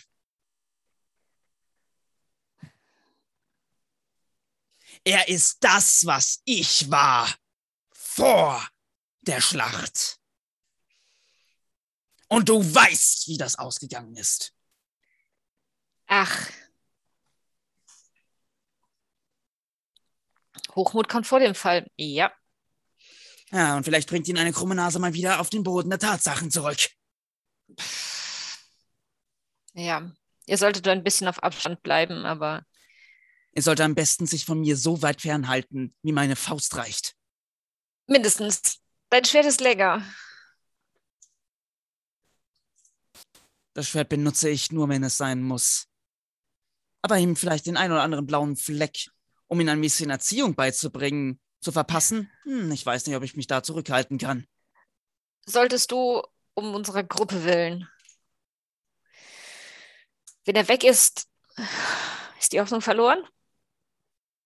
Wieso? Ich ich weiß nicht, was sollen wir am Wald, wenn wir nicht wissen, wo wir hin müssen? Wie soll er am Wall, wenn er nicht weiß, wie er ihn bezwingen kann? Nur ich kann sehen, wo der Schwachpunkt ist. Und das scheint unser Jüngling gründlich und zwar täglich und stündlich zu vergessen. Ich habe ihm erzählt, dass der Wall eine Todeszone ist. Das wird ihm doch nicht, das wird ihn in keinster Weise interessieren. Sein Ja. Hochmut ist, nach seiner Meinung könnte er sich wahrscheinlich mit einer ganzen Armee von hirnlosen Zombies aufnehmen. Mhm, habe ich manchmal auch das Gefühl.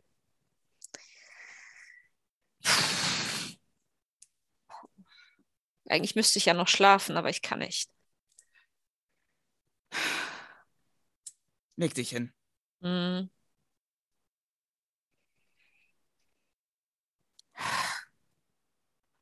Und er dreht sich zu dir um. Wenn deine Tochter fragt, hast du mir eine reingehauen. Klar. Und die Lena wird wieder zu ihrer Tochter gehen und sich versuchen, nochmal auf etwas Schlaf zu finden. Und das Tanjo wird aber hinterher flüstern. Ist ja nicht das erste Mal, dass du Lügen über mich erzählst. Hört die Lena schon gar nicht mehr. Elena zu ihrer Tochter legt, dreht sie sich zu dir rum. Brauchst mich nicht anlügen. Hab genau gesehen, was passiert ist. Ja. Tut mir leid, dass du das mit einsehen musstest. Warum ist er so? Er ist unerfahren, was dieses Land hier angeht. Er traut uns nicht wirklich. Ich meine, Castanio. Es, äh, ihm ist etwas in seiner Jugend, als vor ein paar Jahren passiert, was ihn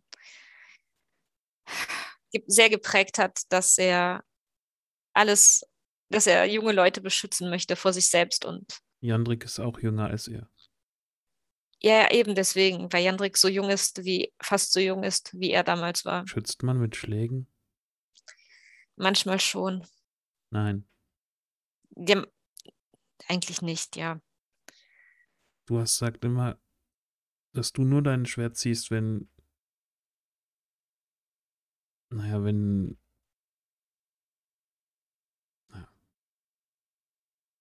Wenn es ernst wird. Ja, das war. Selbst war zu schnell. Hat mir beigebracht, dass ich die anderen nur herumschubsen und schlagen darf, wenn es ernst ist. Ja, die Situation war auf eine seltsame Art und Weise irgendwie ernst. Und er hätte nicht das Schwert nehmen müssen, aber Die beiden können sich nicht So ist das. ausstehen. ja. Und jetzt noch weniger wie vorher. Kannst du nicht was machen, dass sie sich wieder vertragen? Ich habe mit beiden schon geredet. Ich hoffe, Osko oder Mora können noch was mit Jandre klären. Sag Castanio mal, nicht alle sind so wie er. Ja. Weißt du, wie oft ich ihm das schon gesagt habe? Er sagt immer zu Osko, ja, lern doch mal oder zu euch, lern doch mal dies, lern doch mal das. Und ich habe manchmal das Gefühl, dass er selber nicht nichts gelernt hat. Ach ja, komm, lass uns versuchen, noch etwas zu schlafen. Hm. Hm, Ich ziehe sie ran und äh, deck die Decke über uns drüber. Streich lieber den Kopf.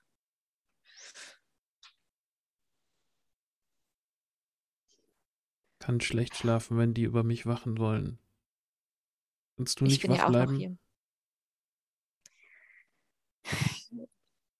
Bei all dem Verrücktheit, die Astania manchmal aufbringt, vertraue ich ihm doch. Ich aber nicht mehr. Nach dem, was ich gerade gesehen habe. Und diesem Feuer. Okay, ich versuche wach zu bleiben. Und dem Fremden auch nicht. Bei ihm weiß ich auch nicht so recht, wo wir dran sind. Mora ist auch komisch manchmal. Ja, die Welt ist nicht immer einfach. Die Lena wird sich dann aufsitzen und, und so da den, den Beine hinlegen, dass, die, dass Fenja ihren Kopf auf den Schoß legen kann. Und Du äh, bleibst wach, ja? ich bleib wach. Kuschelt sich an die Beine. Hm. Ich streichle sie, um mehr um mich zu beruhigen, als sie zu beruhigen. Und Osko wollte noch zu Jandrik rüber. Ja.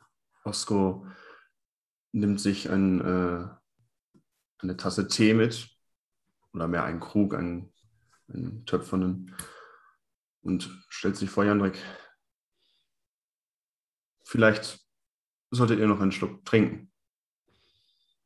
Die Stimme der Vernunft ist angekommen. Was ein Glück. Das würde ich nicht sagen, aber ich nehme das Kompliment mal an. Und ich würde mich neben dich setzen. Hier, trinkt. Was machst du hier, Oskar? Willst du die lange Geschichte oder eine Zusammenfassung? Ich meine, ja, meine Amazone, die weiß, was ich gesehen hat. Die hart ist wie Stein und es trotzdem schafft, im richtigen Moment weich zu sein. Wir haben einen Mann, der in der Lage ist, ein ganzes Dorf niederzubrennen und so wahnsinnig ist, dass man jeden Moment damit rechnen muss, dass er uns alle gleich mitnimmt. Aber trotzdem ist er mächtig und groß.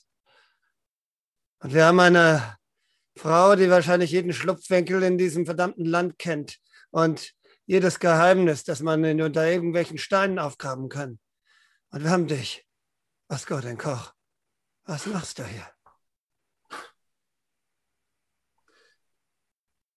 Ich habe eine Aufgabe hier. Der Tee ist sicher lecker, aber ich mein's ernst, du wirst sterben. Das kann sein.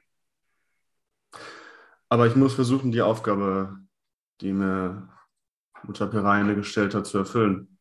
Ich wäre.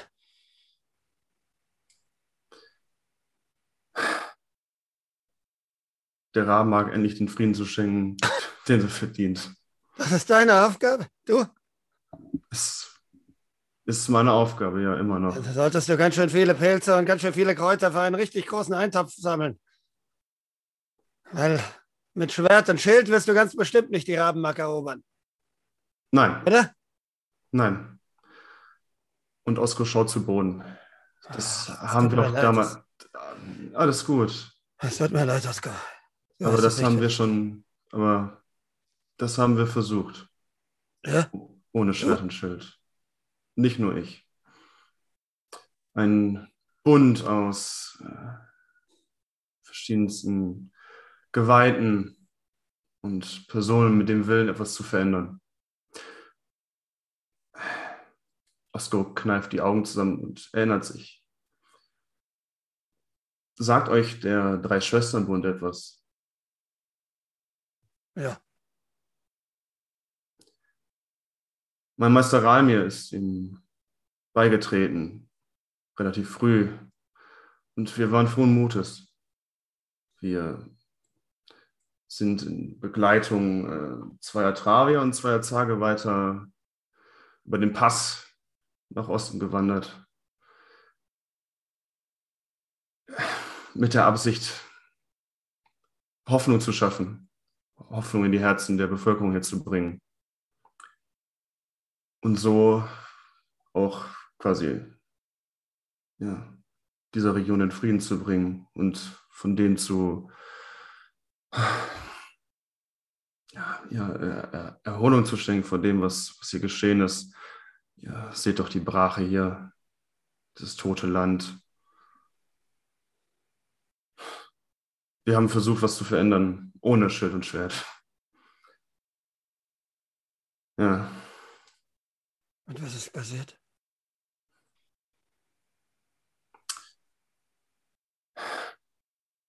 Naja, jetzt bin ich alleine. Wir wurden von, von schwarz gerüsteten Reitern abgefangen und den Rest könnt ihr euch sicher denken. Ja, ich habe selbst erlebt, was dann passiert. Ja, Vielleicht sind wir gar nicht so unähnlich, wir zwei. nein, Zwei ich glaube nicht. junge Männer mit einer Aufgabe, die viel zu groß ist für sie. Viel zu groß. Viel zu groß für uns allein. Deswegen glaube ich, dass wir als Gruppe mehr erreichen werden als auf uns allein gestellt. Aber wie soll ich? Erklär's mir, Oskar, erklär's mir bitte. Wie soll ich euch trauen? Ich, Dir vielleicht. Und vielleicht noch der Amazone. Aber der Beutelschneiderin und dem Wahnsinnigen, wie soll ich denen trauen? ich weiß, dass Mora auf, auf den ersten Blick etwas, ähm, naja, naja, ihr wisst ja, wie sie auf andere wirkt. Ich, ich, kann verstehen, ich kann verstehen, dass ihr ihr nicht traut. Ich weiß, was das Erste, was sie getan hat, als sie nicht wusste, was man mit mir machen sollte, war mich fesseln. Das weiß ich. Allerdings hätte ich das auch gemacht. Seht ihr. Ich kann euch nur sagen, dass ich, ich bürge für sie. Ich würde in mein Leben anvertrauen, wortwörtlich. Ich weiß nicht, ob das euch eurem Entschluss, ihr zu trauen, weiterhilft, aber das ist das, was ich euch sagen kann. Ansonsten wird die Zeit eventuell eure Meinung ihr gegenüber ändern. Ja, ich habe doch letztlich keine Wahl. Weder du noch ich noch irgendwer hier hat irgendeine Wahl, oder? Wir sind Nein. in ein Spiel geraten, das keiner von uns versteht. Kein bisschen. Und auch wenn wir es noch nicht verstehen, können wir trotzdem versuchen, es zu beeinflussen, oder? Wenn die Würfel längst gefallen sind, wenn die Figuren längst stehen, wenn wir nur Bauern sind, die nach vorne geschoben werden, was dann? Selbst, selbst wenn das der Fall wäre, im Spiel der Götter können wir wenig machen. Wir können das tun, wozu wir in der Lage sind, weshalb wir, weshalb mich, Mutter Perein und euch, Vater Boran, auf diese Erde gesetzt haben. Und vielleicht auch in eurem Fall, ihr hattet es ja erwähnt, zurückgebracht haben. Hm. Es, können nichts weiter als es versuchen. Was anderes bleibt uns hoffnungslos irgendwie in einem an der nächsten Dörfer auf diesem Hof der alten Dame, die Mora erwähnt hatte, irgendwie zu versauern. Nein. Wie Ich kannst du so kann- sicher sein in deinem Glauben, Osko? Und so, Ja. Immer folgst du deiner Göttin wie ein braver Junge, oder? Du wankelst nie. Weißt du, vorhin habe ich der Amazone gesagt, dass ich diesen alten Mann töten will. Ich, ein ge fast geweihter Borons, würde einfach sagen, als ob ich, ich, ich weiß gar nicht mehr, wer ich bin. Seit ich hier bin in diesem wahnsinnigen Land, weiß ich überhaupt nicht mehr, wer ich bin, was ich folgen soll, wen ich folgen soll. Ich sehe diese drei Gestalten in meinen Träumen. Ich sehe den Vater nicht. Ich sehe nur sie. Ich wäre gern so standhaft wie du. Jandrek, ich, ich kann dir eins versichern. Ich, es mag vielleicht eine, ich mag vielleicht den Anschein erwecken, aber auch ich habe gezweifelt. Ich bin erst einige Jahre hier. Ich habe aufgehört, sie zu zählen. Und natürlich zweifelt man daran. Man zweifelt an sich selbst und seinem Glauben, aber ich, ich kann euch nicht mehr sagen, als dass tief in meinem Innern ich einfach ich einfach dieses Gefühl habe. Ich, es ist ein, ich, ich kann es kaum beschreiben. Es, deswegen, es tut mir leid, ich kann euch nicht die Antwort geben, die ihr vielleicht braucht, aber tief in meinem Herzen weiß ich, dass der Glaube an die Herrin, der Glaube an die Zwölfe und an das, an das Gute in die, dieser Welt und das ist, was antreibt und dann auch vielleicht etwas bewirken kann ich, das klingt, ich, ich höre mich an, ich höre mich an wie mein alter Meister. Aber ich, um ehrlich zu sein, weiß ich es nicht. Ich kann es nicht wissen. Aber ich glaube daran. Ich glaube an das Gute in dieser Welt und dass noch nicht alle Hoffnung verloren ist. Jandrik steht auf, stellt sich vor Oskar. Dann legt er ihm die eine Hand auf die Schulter und auch die andere auf die andere. Er schaut ihn an, mit den stahlblauen Augen starrt er ihn an. Danke dir. Ich würde gern mit dir zu deiner Göttin beten, wenn es in Ordnung ist. Gerne. Dann setz dich. Wer tut es? Nimm meine Hand. Er folgt. Und dann sprech, mal, sprech mir die Worte nach. Osko schließt seine Augen. Wir ehren Pereine, die Wir lebendige Pereine. Erde, Die lebendige Erde. den Wechsel von Frühling zu Sommer, Den Wechsel zu Frühling zu Sommer. von Herbst zu Winter, Von Herbst zu Winter. von Brache zu Saat, Von Brache zur Saat. von Saat zu Ernte.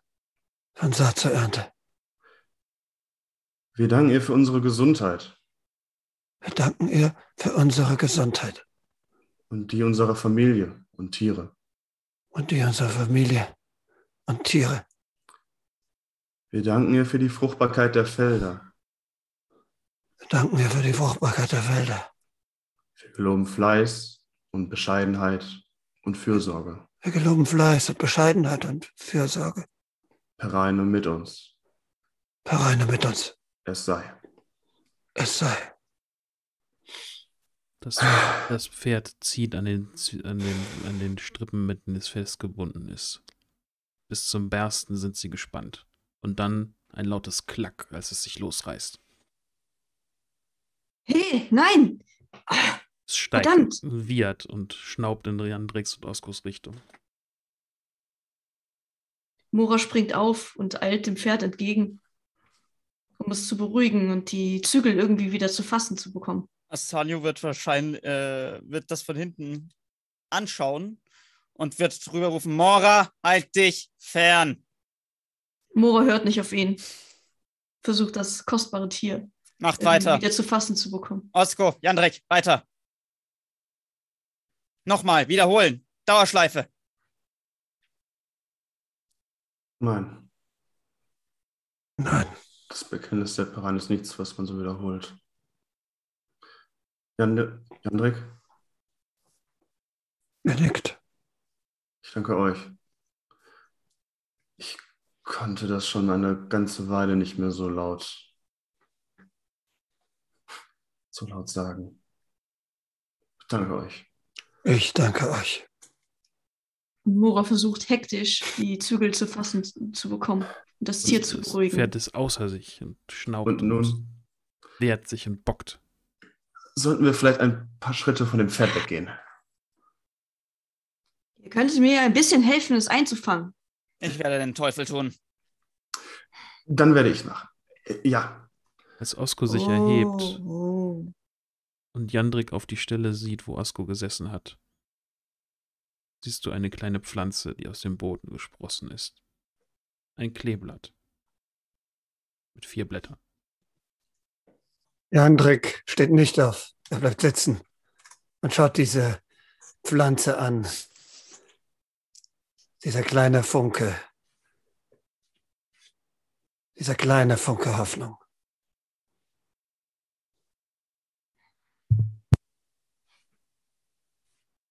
Beruhig dich. Beruhig dich. Alles ist gut. Okay, ich, ich, ich glaube, ich hab's.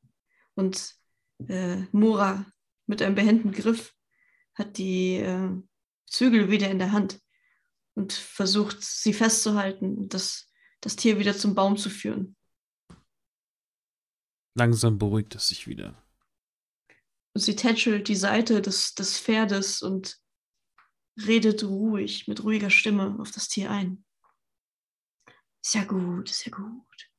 Du bleibst jetzt hier. Als du ihm auf die Flanke tätschelst, merkst du, dass dort eine Wunde entstanden ist, wo deine Hand das Pferde, den Pferderücken berührt. Mora legt die Stirn in Falten und schaut auf ihre Hand, wo jetzt ein Flecken Blut auf ihrer Handfläche glänzt. Im Licht des Mardermals. Was zum. Und sie Äh. tastet weiter am Rücken des Pferdes. Ist es Ein verletzt? schorfiger Ausschlag. Das war vorher noch nicht da. Nein, war Ich es bin mir nicht. ganz sicher. Ich, ich auch. Ich, Sie nimmt die Hand näher ans Gesicht und riecht kurz ähm, an dem Blut. Riechst nach nichts. Mora, wasch dir mal lieber die Hände. Ich, Sie betrachtet ein wenig misstrauisch dieses Blut, nickt dann aber nur, versichert sich noch einmal, dass die Zügel gut verteut sind und wäscht sich dann die Hände mit etwas Wasser ab.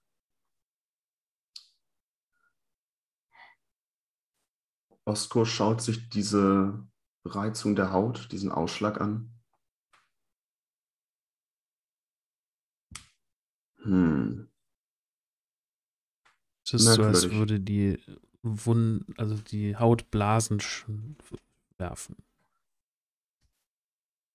Auf offene Fleisch schon äh, sichtbar unter den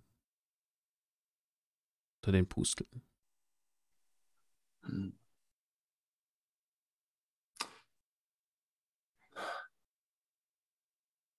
Ich. Und? Was, Was ist das? es hat Blasen geschlagen, wie bei einer Verbrennung. Naja, was soll man auch erwarten von einem, von einem Pferd aus dem Schattenlanden hier? Die Frage ist, kriegt die Fäulnis in das Pferd oder kriegt das oder aus dem Pferd? Auch, ich, ich kann es nicht genau sagen, aber meine erste Vermutung wäre, dass wir, auch wenn mich das auch etwas äh, stört, stör oder stören würde, vielleicht sollten wir, solange wir das Pferd noch brauchen, es unterlassen, in seiner Gegenwart zu beten. Mhm. Ich glaube, es reagiert da allergisch drauf. Und Mora sieht dich wirklich misstrauisch an, kritisch. Das, Naja. das war natürlich nicht so gemeint. Das, ihr habt es ja gesehen. Und doch ein wenig Gedanken verloren, tätschelt Mora dennoch den Hals des Pferdes. Aber in ihrem Blick ist auch ein wenig etwas Angewidertes. Was ist los?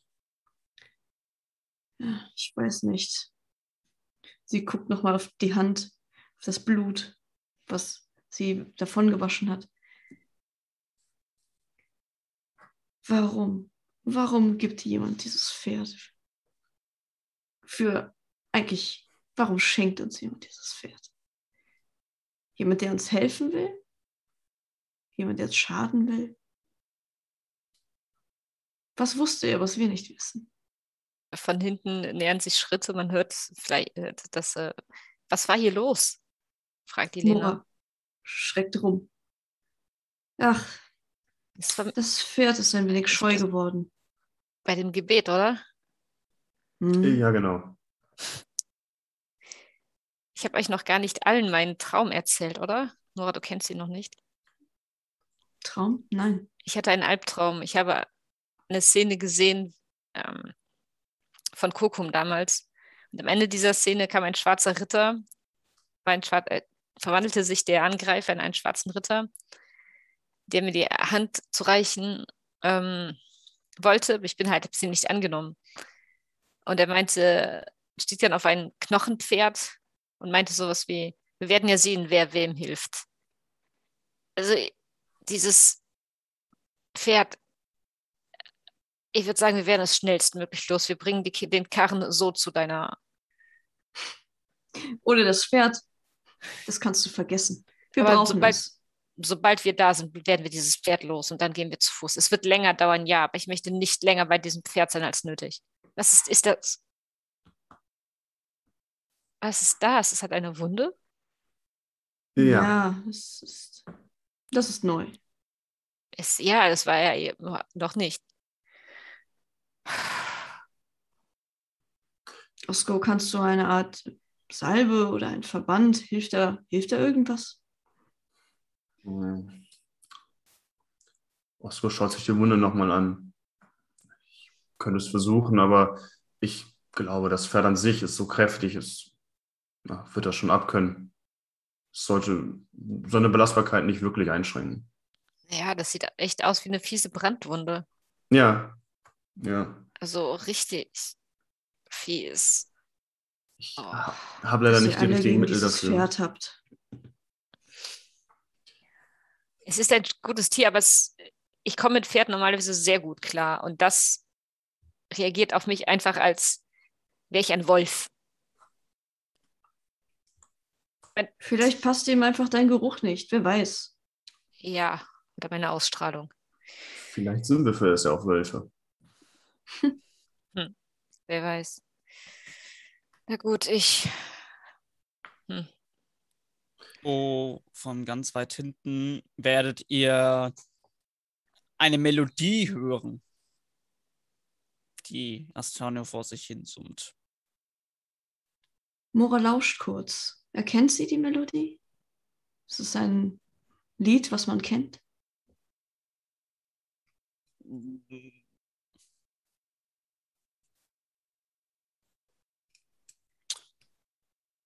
Was ist es denn für ein Lied? Das Prius Nostra.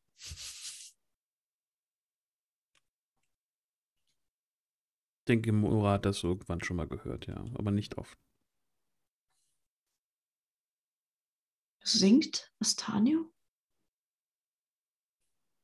Und Ja. sie schaut fragend in die, in die Runde. Ja. Hört sich so an, oder?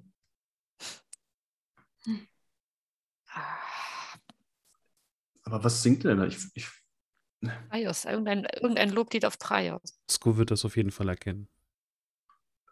oh. Ausgeschaut zum Pferd. Hat er nicht irgendwas noch gebrüllt, dass ihr weitermachen solltet, weiterbeten solltet? Das Pferd wird unruhig. Das tut er extra. Das Pferd ist kein normales Tier, Mora. So gern ich das glauben würde. Aber nein, wir brauchen es. Verstehst du? Hin oder her. Ja, Das ist das beste Pferd, was wir hätten bekommen können. Ohne Nein. das Pferd retten wir die Kinder nicht. ja, das stimmt. Ich Elena. gehe mal zu, ich gehe mal zu. Astanio. Ja. Danke.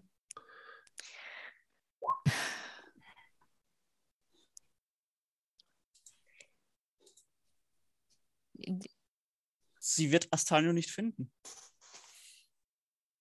Astanio hat sich von der Gruppe entfernt.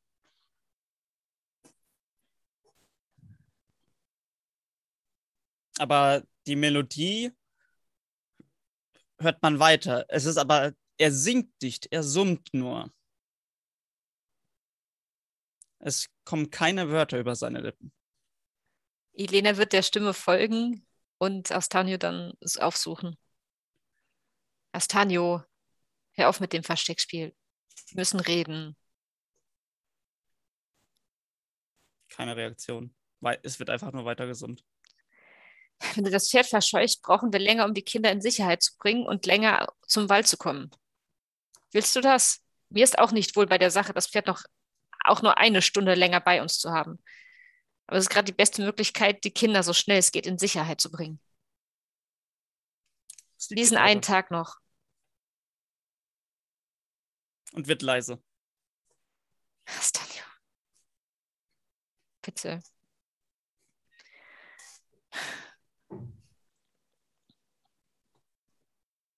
Findet sie dich dann auch noch? Würde ich dem Meister überlassen. Ich denke, wenn man na, wenn du summst und so laut summst, dass man das überall hören kann, dann findet man dich auch. Hattest du jetzt aufgehört zu summen? Stalio summt weiter und wird mit, sein, äh, mit dem Schwert, das er dabei hat, äh, Äste schlagen. Spätestens das wird man als Erkennungszeichen hören. Ja. Ich würde die Lena zu ihm gehen und gucken, dass sie dann ähm, um ihn rumgeht und sein Schwert äh, gucken, dass er das zurückblickt, zurückgeöffnet ist das Pferd immer noch unruhig. Ja, würde die Lena gucken, dass sie ihr, ihr Schwert gegen seins kreuzt. Stanjo. Bitte. Danach kannst du es morgen verscheuchen mit dem lautesten Gesang, wenn du willst. Mir ist auch wirklich nicht wohl dabei. Und sie fängt halt an, mit ihm, während sie geredet, mit ihm Sparing zu machen. Astalio wird sich darauf einlassen, aber wird stur das Lied weiter summen. Komm von deinem hohen Ross runter. Du willst doch, dass die Kinder geschützt sind, oder? Komm schon. Die Kinder müssen in Sicherheit. Wir brauchen zwei Tage oder drei Tage länger, wenn wir zu Fuß gehen müssen. Ohne das Pferd. Astalio wird nicht stoppen, bis das Lied zu Ende ist. Zumindest die Melodie des Liedes.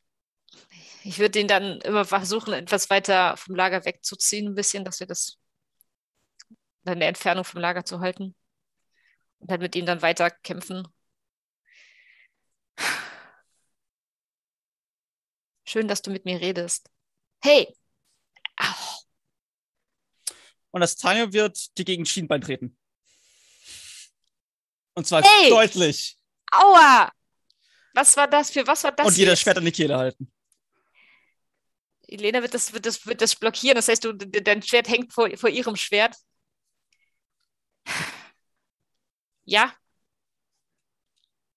Man lernt am besten, wenn man seine Feinde im Auge behaltet. schon klar.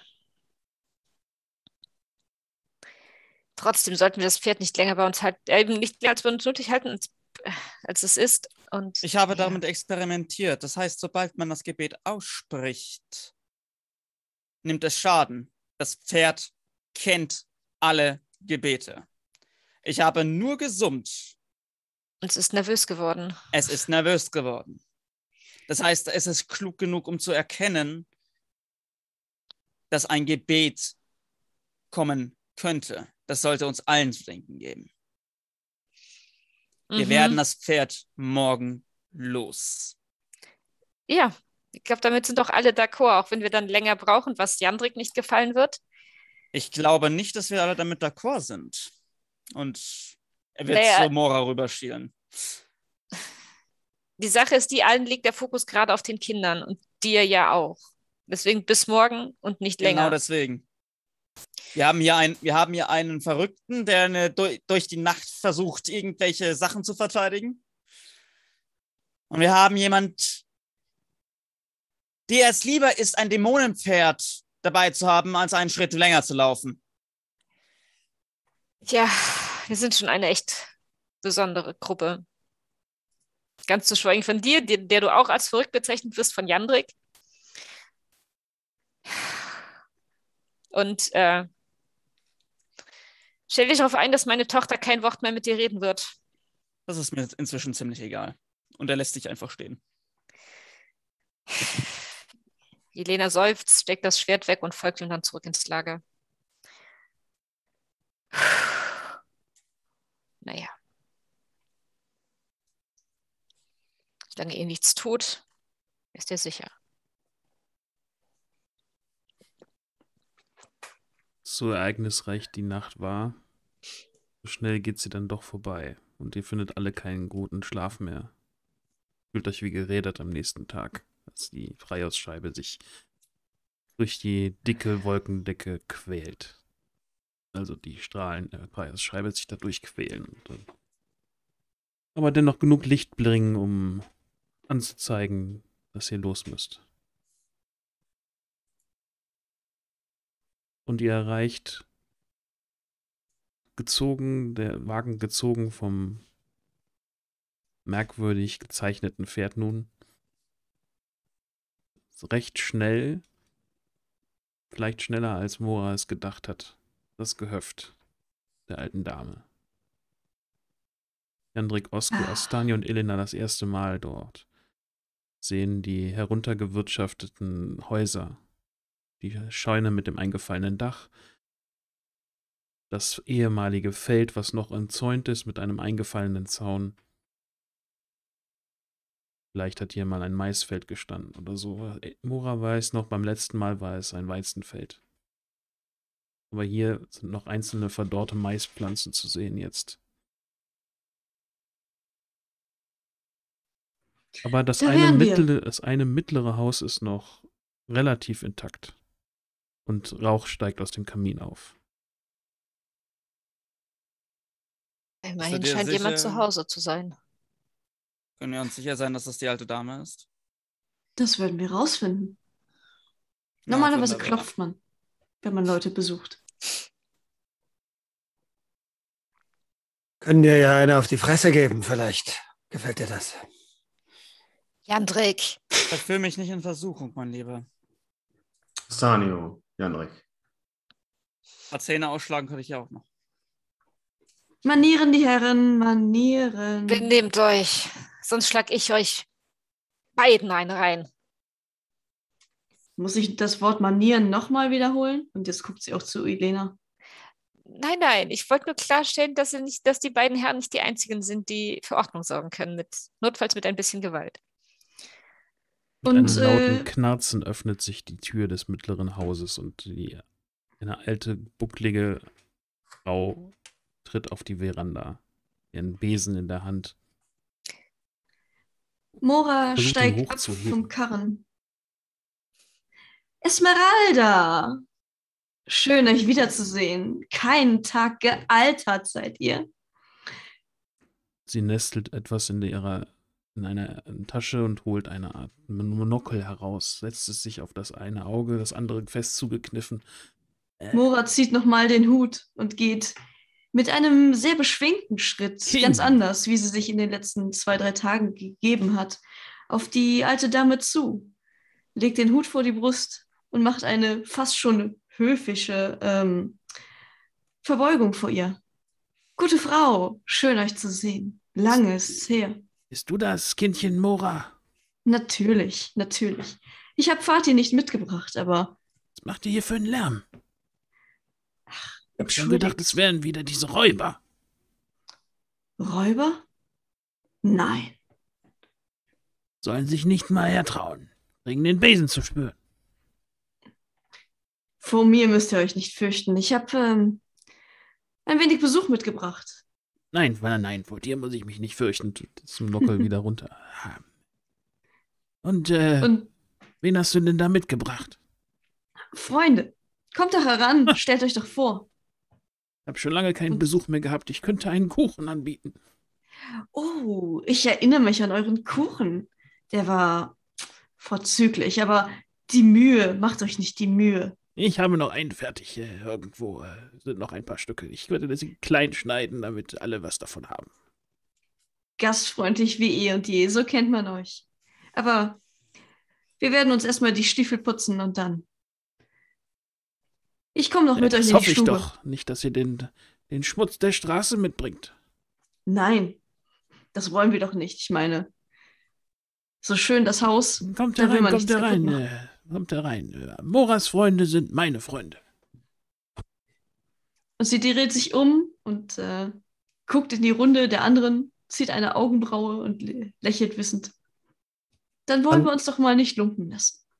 Jandrik ist schon abgesprungen und folgt dir. Osko Le- ebenso. Lena hat sich während der Fahrt der letzten äh, paar Minuten, die Fahrt, bevor wir ankamen, die Rüstung wieder ausgezogen, hat die unter die Decke gepackt und steigt jetzt einfach nur in normaler Kleidung mit einfach dem Kurzschwert an der Seite vom Wagen. Dann. wird beim Wagen bleiben. Einer muss ja schließlich auf die Kinder aufpassen. Soll ich dir ein Stück Kuchen rausbringen, mein Lieber? Er ist nicht nach Süßes. Geh rein. Und nimm deine Tochter mit. Ja. Komm schon, Fenja. Ihr das Haus betretet, tretet ihr in einen, ja, in eine, das erste, was war, was ihr wahrnehmt, vor allen Dingen, was Osko den Verwesungsgeruch aus der Nase treibt, ist ein, ein dicker Teppich aus verschiedensten Düften, Kräuter, Räucherwerk, aber auch Kuchen und Backwaren. Süßes. Und auch der Rauch des Feuers, die Holzscheide, die jetzt knisternd Wärme verbreiten. Was in dieser nasskalten Jahreszeit war ein wahrlich gutes Gefühl ist, jetzt in eine warme Stube zu gehen. Ihr seid eine begeisterte Bäckerin, äh, gute Frau. Man kann es riechen. Äh, Ja, sehr, ja, ich äh, mache nur noch kleine, keine kleine Kuchen für mich. Ich erwarte ja nicht so viel Besuch, aber ich kann die Stücke so klein schneiden, dass äh, wir alle noch was davon haben. Ähm, Macht euch keine Umstände. Das, der große Raum ist relativ nüchtern eingerichtet. Überall hängen Kräuter an der Wand, leichte Tiegelchen und Fläschchen in Regalen, kleine vereinzelte Schriftrollen und Bücher. Einen zweiten Raum gibt es nicht. Es gibt eine kleine Leiter, die auf den, auf den Boden führt, der auch offen einsehbar ist, wo man aber nichts sehen kann von hier unten. Eine Nische mit einer mit Fellen ausgelegt als Bett statt und ein großer Tisch mit mehreren Schemeln, ein kleines Schreibpult, aber ohne Papiere und ohne Feder oder Kohlestifte und eine ausgebreitete Küchenzeile an dem ähm, am Kamin in der Nähe des Kamins und ein großer großer Kessel, der allerdings jetzt auf den Kopf gestülpt an der Wand steht und nicht auf der Feuerstelle. Ah, hier riecht es immer so herrlich. Daran kann man sich gewöhnen. Ist das so? so Ja, wirklich. Es riecht wirklich großartig. Wie war euer Name noch gleich? Ich glaube, wir haben uns noch gar nicht vorgestellt, oder? Du kannst mich äh, gern Oma nennen. Was für Das machen fast alle. Das freut mich. äh, Dann, äh, Oma, ich äh, bin Osko. Freut mich wirklich, Sie, dich kennenzulernen. Und ich bin Jandrik, Oma. Es ist mir eine Ehre.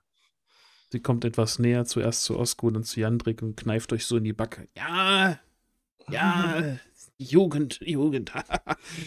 Stattliche junge Kerle hast du hier mitgebracht, Mora. Oh ja, vielen Dank, Oma. Bisschen hager die sind Besten, die ich- Vielleicht brauchen die was zu essen. Hier, setzt euch, setzt Nur euch. die setzt euch. besten, die ich finden konnte. Aber ich glaube, ich habe äh, vielleicht noch ein Tiegelchen Honig für euch. Ich meine, hier und da müsste ich doch noch etwas haben. Oh, Honig ist sehr gut, sehr gut. Ich brauchte noch Honig, ja. Sehr, sehr schön. Oh, was ist das denn? Oh, eine, eine junge Dame. Beugt sich runter zu Fenja. Wer bist du denn? Du bist ja eine ganz, ganz, wuschelt ihr so durch das Haar. Oh, es- ist meine Tochter Fenja. Ich bin Ja, Elena. das sieht man aber. ja. Der Apfel fällt nicht weit vom Stamm, sagt man, nicht wahr? Also ihr mögt Kinder, schließe ich daraus? Wer mag denn keine Kinder? Naja, es gibt schon hier und da Leute, die bereit sind, Kindern alle möglichen schrecklichen Dinge anzutun, nicht wahr? Ah, in diesen Landen, ja. Stimmt. Da habt ihr recht. Fürchterliche Sachen. In was für Zeiten leben wir wie bloß? Gut, dass sich hier von diesen Schuften niemand hierher traut. Mhm. Warum nicht? Weil sie den Besen zu spüren bekommen, wenn sie kommen. Ich verstehe. Ja, sie weiß sich zu verteidigen. Das ist. Ja, André guckt so. Mora. Und wird immer ungeduldiger. Mora scheint nicht aus der Ruhe, äh, also lässt sich nicht aus der Ruhe bringen. Sie hilft der Dame dabei, Tee zu machen und den Tisch ein wenig einzudecken. Und sie bewegt sich auch fast schon ein wenig anders als in den letzten Tagen auf der Reise, wo sie sehr pragmatisch und eher kurz angebunden war. Jetzt mimt sie die Gastgeberin zusammen mit der alten Dame und nimmt sich die Zeit, mit euch anderen Platz zu nehmen. Esmeralda, ich, ich glaube, ich hatte da noch eine Kleinigkeit für dich. Ja, habt Und- ihr wieder eine Nachricht von meiner Schwester? Nicht nur das. Und sie greift in ihren Mantel, in eine der vielen Manteltaschen dort drin, und neben einem kleinen Brief, äh, den sie äh, aus der Tasche zieht, hat sie auch ein paar an Handschuhen, fein gearbeitet, mit einer kleinen Schleife verziert, eher modisch, überhaupt nicht pragmatisch oder zweckmäßig. Und sie wiegt diese zarten, bestickten Handschuhe in der Hand und äh, hält sie der Dame hin. Ich hatte da ähm, etwas gefunden und ich musste direkt an euch denken. In äh, Beilung sind sie mir in die Hände gefallen und ich weiß doch, wie sehr ihr schöne Stücke und gute Mo Mode mögt. Und er schiebt der alten Dame die zarten Handschuhe entgegen. seid bis nach Beilung gereist. Das ist aber ganz schön weit weg, Kindchen. Man kommt so rum, ich meine. Schön, schön, Jemanden- schön. Passen Jemanden bestimmt. wie dich würde ich doch nicht äh, vergessen. Und das ist noch von, von eurer Schwester eine Nachricht, ein paar Grußworte. Die lese ich äh, später in Ruhe. Ich kann Jetzt sie euch vorlesen, ich weiß was. ja, beim schlichten Licht. Äh, aber genau, später. Ihr seht aus, als Setzen wir hättet wäret ihr hungrig. Äh, War da nicht noch jemand bei euch am Wagen? Will der nichts essen? Der Jandrek. passt auf das Pferd auf. Jandrik hat sich währenddessen kurz in der Hütte umgeguckt und guckt nun nach draußen und meint, so geistesverloren hat das Gespräch nur halb angehört. Also der Hof ist ja recht groß, fast zu groß für eine Person, findet ihr nicht? Ihr Ja, lebt hier ganz alleine? seit mein Mann verstorben ist schon, ja. Da wäre Gesellschaft doch was Gutes, oder nicht? Nun, es traut sich ja niemand her. Also ich kann jetzt diesen, ich kann das jetzt nicht länger, Mora. Können wir bitte?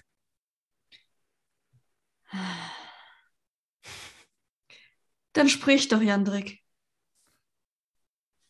Wir sind nicht zufällig hier, gute Frau. Eigentlich ich habe ja eine Nachricht von der guten Mora bekommen. Ist immer, wenn sie bringt sie mir eine mit, wenn sie vorbeikommt. Ja, das Natürlich. ist richtig, aber wir sind, wir haben einen großen Umweg gemacht zu einem Ort, der uns sehr wichtig ist. Wir haben Zeit verloren wegen Ihnen. Wir brauchen Ihre Hilfe. Meine Hilfe. Wie könnte eine alte Frau wie ich euch helfen? Seht ihr den Wagen da draußen mit dem alten, verwirrten Mann? Ja, aber der war doch noch jung. Äh, ja, äh, immer eine Frage der Perspektive, nicht wahr? Nein, ähm, hinten im Wagen liegen drei Kinder. Verzeihung. Was? Irgendwelche Menschenhändler wollten sie verkaufen an die. Er hält kurz inne, weil er was sagen wollte. Jemand wollte sie verkaufen und ähm, wir haben das verhindert und unsere gute Mora ist der Ansicht, sie wären die richtige Frau, um auf sie aufzupassen, auf sie und die Kleine da. Wer verkauft denn Kinder? Schreckliche Menschen. Wir können sie nicht mitnehmen, da wo wir hinwollen. Das geht nicht. Das ist zu gefährlich.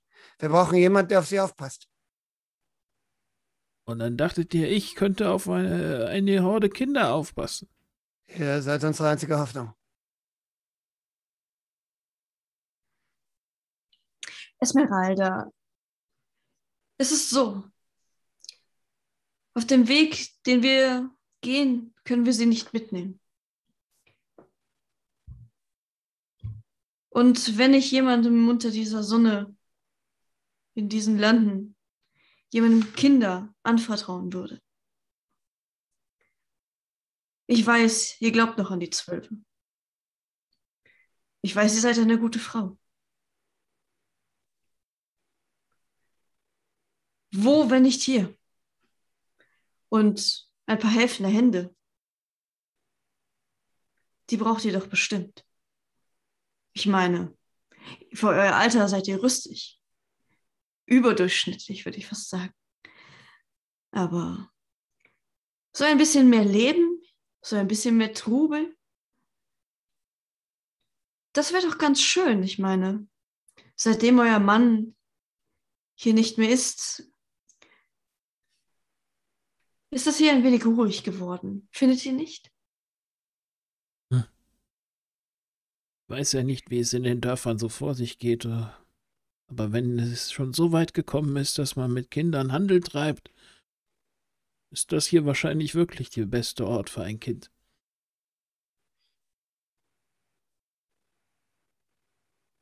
Ja, Und das ist ein was- schrecklicher Gedanke. Ein schrecklicher. aber es ist ein guter, dass es diesen Ort noch gibt. Ihr wisst gar nicht, was ihr damit Gutes tut. Vielleicht rettet ihr das Land sogar. Also übertreibt natürlich ein wenig. Ich meine, Jendrik ist dann manchmal ein wenig theatralisch. Ein Schauspieler. Habe ich gleich Ein erkannt. Schauspieler, natürlich. Nein, es ist. Es tut, es tut mir so schrecklich leid, dass wir mit diesen Nachrichten so auf euch hereinprasseln und euch diese Last ans Bein binden, aber. Und sie, Mora nimmt die Hände der Dame. Es ist wirklich eine Hoffnung, an die wir uns klammern.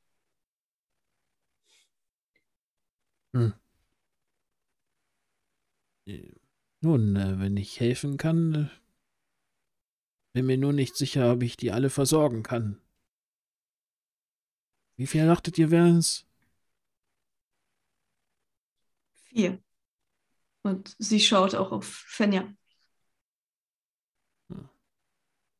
Sind die alle so stattlich wie die junge Kleine hier?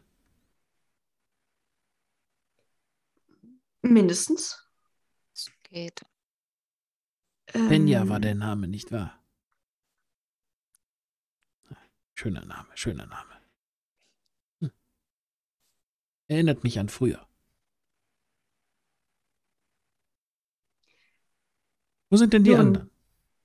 Dann, äh, ich schau mal nach den anderen. und äh, gebe Astanio Bescheid. Und Mora erhebt sich und äh, geht nach draußen, ich um ein mitkommen? Wörtchen mit Astania, Astanio zu sprechen. Ja. Soll ich mitkommen oder? Nun, leistet ihr doch Gesellschaft. Ich meine, ihr habt den Kuchen noch gar nicht probiert. Stimmt auch wieder. Gut. Wenn ihr Hilfe braucht, sagt ihr Bescheid, ja? Natürlich. Der Kuchen schmeckt grauselig. Jandrik isst so, isst ihn ganz auf, das ganze Stück. Oskar ja, ich lehne das auch so. Okay, es ist was zu essen. Ich esse ihn. Fenja verzieht das Gesicht. Du mochtest Apfelkuchen nie, von daher ist es okay. Tut mir leid, Simon, ich mag keinen Apfelkuchen. Na, das müssen wir aber ändern. Das ist mit Abstand der beste Kuchen, den ich seit drei Wochen gegessen habe. Schauspielerische Schmeichelei. Hm. Aber ich finde ihn wirklich gut. Esst.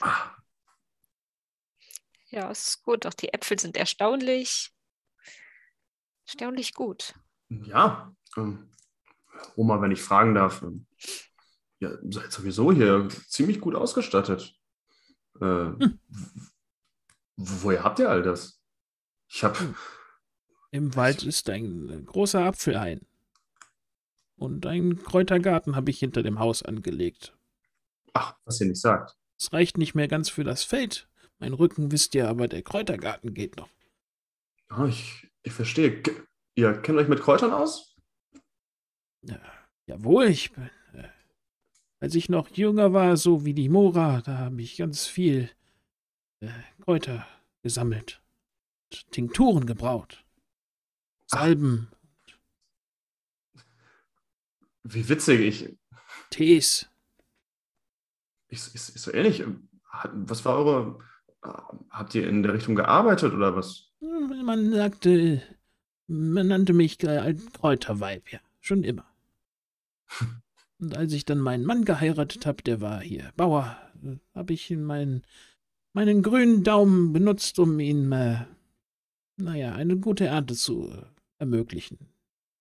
Er war zwar kräftig und fleißig, aber nie sonderlich glückhaft, was das angeht. Und als der Krieg dann ausbrach, nun, dann ist er schnellstens äh, von dannen gezogen und ist nicht wiedergekommen. Oh. Es, tut mir leid für Sie. Aber dennoch, ich, ich muss sagen, es, es freut mich, sowas zu hören. Ich, gerade in diesen Landen ist das äh, eine Seltenheit geworden. Eine Aber- Kräuterfrau ist Seltenheit. Na, nein, aber dass der Boden wohl gut, äh, gut Früchte trägt. Ich, äh, Komme muss sich von, besonders äh, um ihn kümmern. da habt ihr recht, ja. Da braucht besondere Fürsorge. Nun, ich sehe, dass Mora näher kommt. Ansonsten, ich würde sehr gerne euren Garten sehen, wenn wir noch Zeit hätten. Aber leider müssen wir uns beeilen. Aber ich denke mal, dass gerade Fenja gut für die Gartenarbeit geeignet ist. Die ist kräftig. ich bin was? Psst. Ah, Kind, du brauchst nicht unbedingt die Kräuter zupfen. Du kannst doch Nein. die schweren Pfähle vor den Zaun reparieren oder so etwas. Das denke ich auch, ja. Und äh, Osko lächelt in Richtung Fenja. Kann das wirklich? Guckt zu Oskar. an. Da bin ich mir ganz sicher.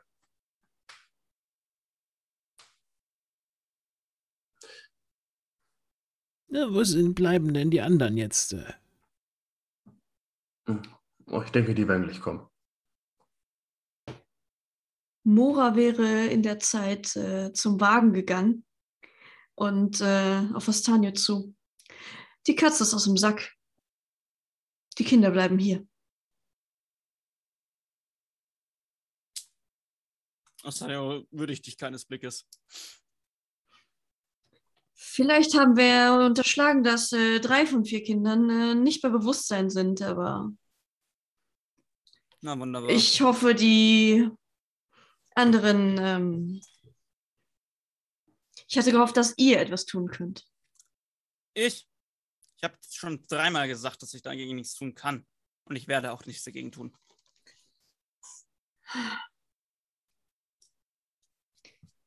Wenn wir wiederkommen, wird sie mir den Kopf abreißen. Wenn wir wiederkommen. Und dann ist wird, wird sie, äh, Asanio wird sich vom Bock runterbegeben, die Plane aufschlagen und eines der Kinder nehmen und wortlos an ihr vorbeigehen. Moore verdreht kurz die Augen, aber folgt ihr erstmal. Er hat sich übrigens die Elfe genommen. Ah, da ist ja der Jüngling. Oh, ein schlafendes Kind. Spitzen Ohren. Ja, ähm. Esmeralda. Mora. Es gibt da vielleicht eine kleine ähm, Komplikation, aber eigentlich eine Kleinigkeit. Ähm, Sie sind bewusstlos und sie wachen nicht auf. Meinst du das, Mora? ja, wie er sagt. Sie wachen Aber die eine, auf. die ist bei Bewusstsein, wie ihr schon mitbekommen habt. Dann legt sie doch da drüben mal hin. Deut- Natürlich. Deutet auf die Lagerstadt. Sonja wird äh, die Elfe ablegen und wortlos wieder rausgehen, um das nächste Kind zu holen. Und das wird er halt so lange machen. Was hat man dir bloß sind. angetan, Kindchen? Alte kniet sich dann neben die Elfe. Wir hatten vermutet, dass es eine Art Zauberei vielleicht ist. Ah, Oder man hat den Kindern etwas gegeben. Vielleicht. Ich weiß nicht, was dieser. Na, ist jetzt auch egal, was Mit er mit Zauberei kenne ich mich aber nicht aus.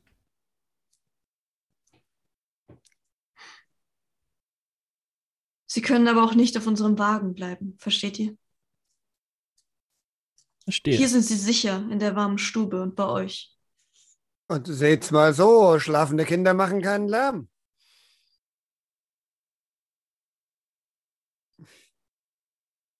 Ich mag Kinderlärm. Vielleicht äh, wachen sie aber ja auch wieder auf. Mitnehmen können wir sie nicht, das ist das Problem. Ich verstehe. Na dann, Und Sonja wann kommt holt ihr sie wieder ab? sobald wir können. Verstehe. Oder sobald wir etwas gefunden haben, was sie aufweckt. Lügt Mora.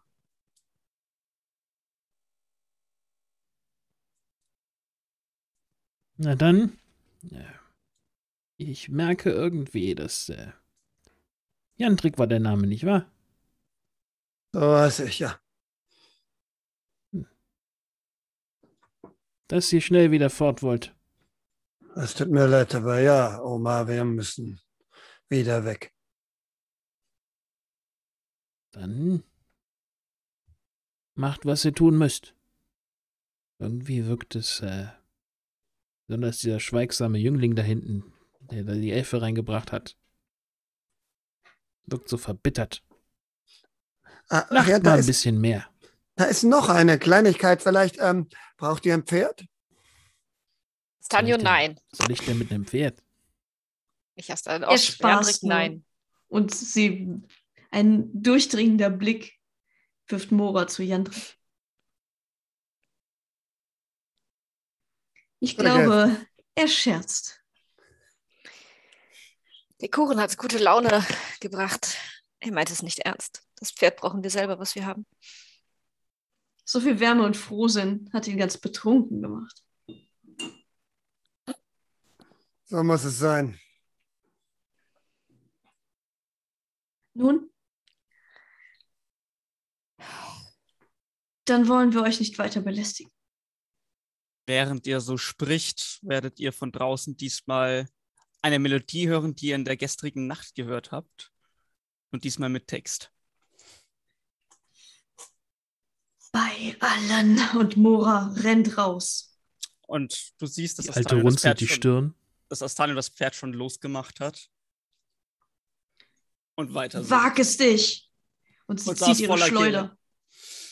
Aber Jandrik greift ihr in die Schleuder und du hörst auf seinen Lippen ein Gebet Borons immer lauter werden. Mora blickt wütend die beiden an. Habt Wir ihr denn können- den Verstand verloren? Wir können es nicht behalten, es muss entweder fliehen oder sterben. Was geht hier vor?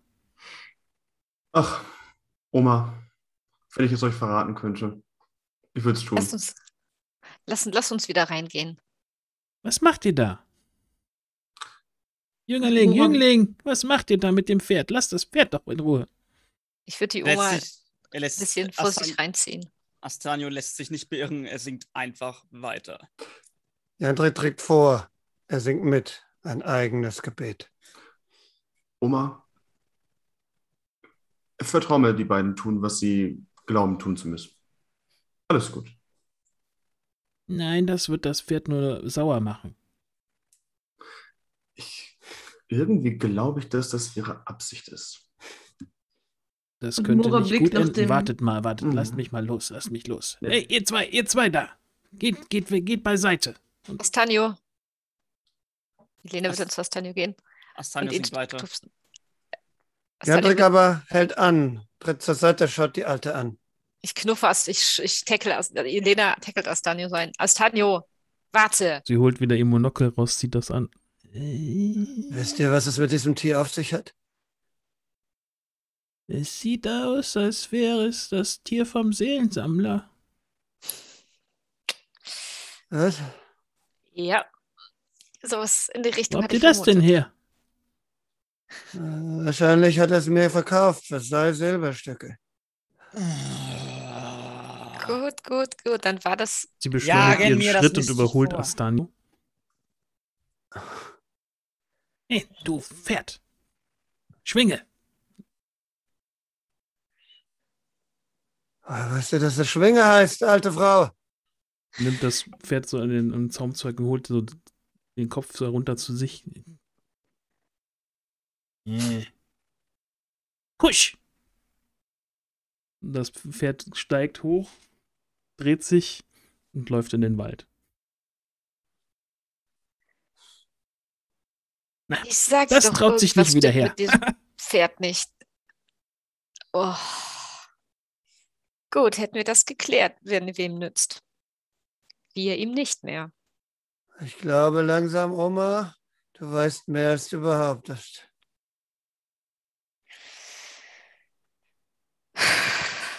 Bis jetzt habe ich noch überhaupt nicht behauptet, irgendwas zu wissen. Das Hat sie recht. Da hat sie recht. Bei ihrer Aktion. Ich weiß viele Dinge. Geweihte. Ich weiß zum Hexe? Beispiel, dass man Schwinge nicht äh, zornig machen sollte. Und das wisst ihr beiden anscheinend nicht. Aber jetzt wisst ihr es. Passt besser auf. Tja, Sehr gut. Wo das, halt nicht, wo das er Pferd ist, ist. ist auch sein Reiter nicht weit. Und dem wollt ihr nicht begegnen. Zu spät.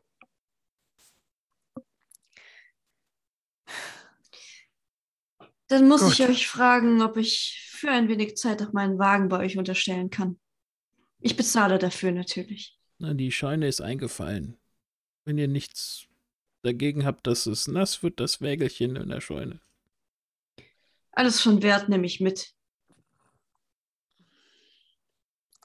Aber lasst es die Jünglinge tragen.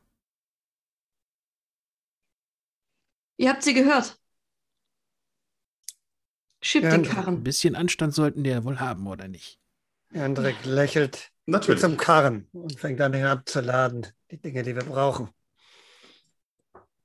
Astanio wird mit ernstem Gesicht Jandrik hinterher trotten und ihm dabei helfen.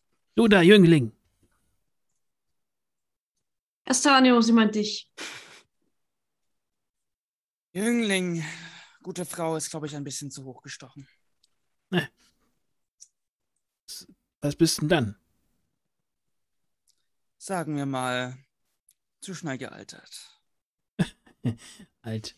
Du weißt nicht, was alt ist.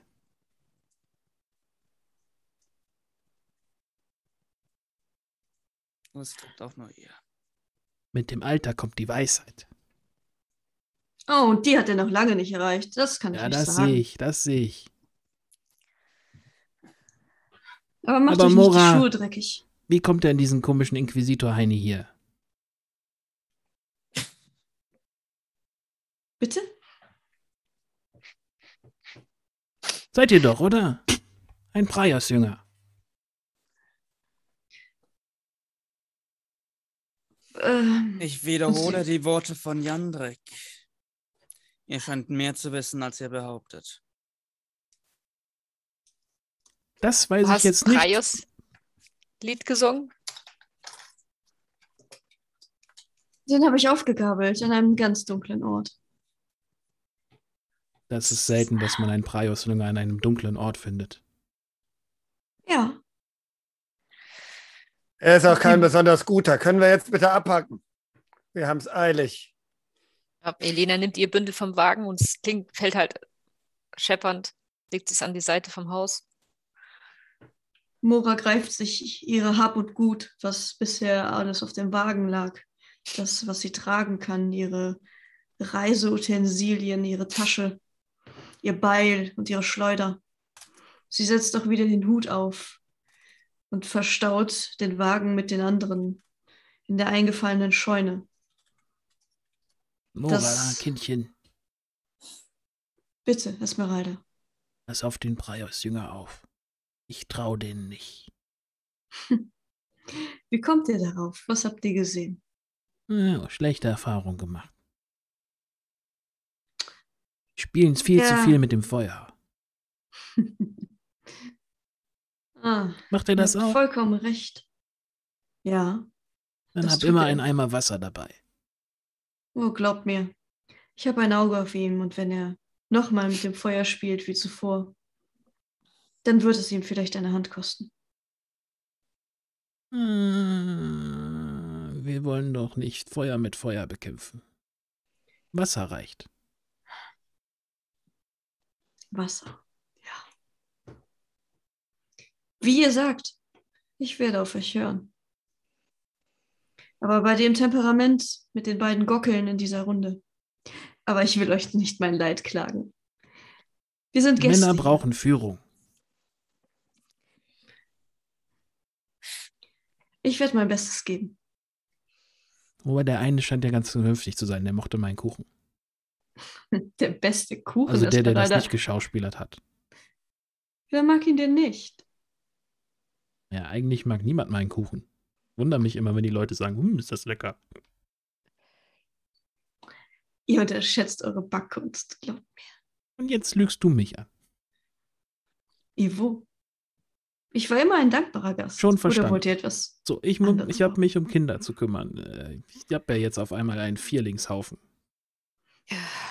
Und ihr Und wollt Mora ja ganz schnell greift weg.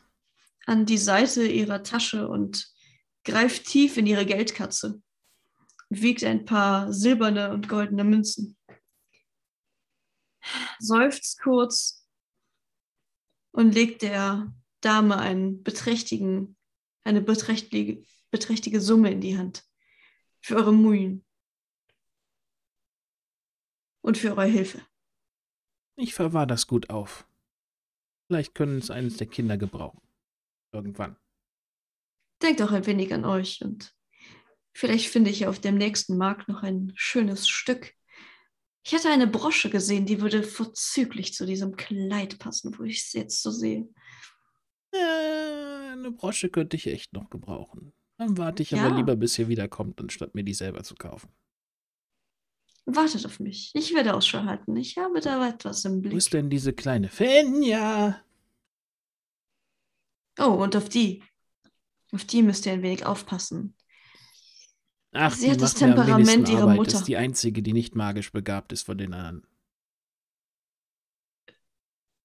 Was? Und Moras Blick wandert auf die Gruppe, die am Eingang steht, ein, einige Schritte entfernt. Gute Frau. Ich glaube, dieses Monokel, das ist Schauspielerei von eurer Seite, gibt es doch zu. Nein, ich habe schlechte Augen mit dem Alter. Oh, ich glaube, ihr seht sehr gut.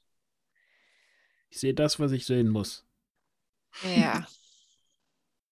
Und sie legt äh, der Dame noch eine wohlwollende Hand auf die Schulter. Ich glaube, hier trennen sich unsere Wege. Macht's gut. Gehabt euch wohl und viel Gesundheit. Die Zwölfe mit euch. Und mit Auch euch. der mit der Sonne, wenn ihr Wert drauf legt. Darauf habe ich schon lange keinen Wert mehr.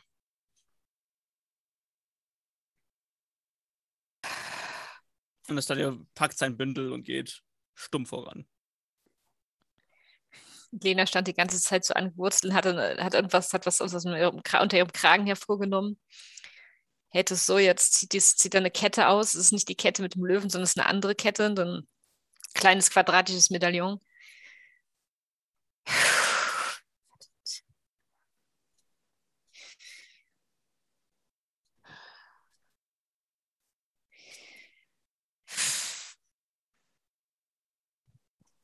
Sie schaut sich nach Fenja um. Steht da.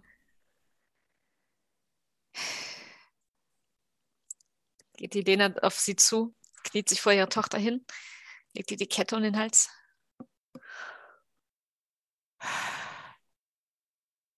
Du musst hier bleiben. Du kannst nicht mitkommen. Ich weiß. Das hier, die Kette, habe ich von meiner Mama bekommen, als ich 17 geworden bin. Ist ein Familienerbstück. Pass gut darauf auf, ja? Ich komme es mir wiederholen. Und stell keinen Blödsinn an. Ich pass drauf auf. Die Lena drückt die Kleine, drückt ihr einen Kuss auf, den, auf die Wange. Ja, umarmt Steht auf. zurück. Steht dann auf, schwankt ein bisschen, geht an die Seite, holt ihr Bündel und äh, geht zu Ende und äh, Ja, kleine Fenja, vielleicht möchtest du ähm, den guten Boku äh, ein bisschen äh, füttern. Bestimmt Hunger. Komm mit.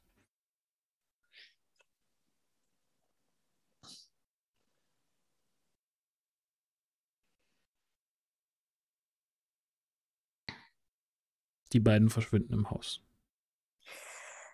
Sind wir soweit? Lena ist schon losgegangen. Wir sind soweit. Wir sind soweit.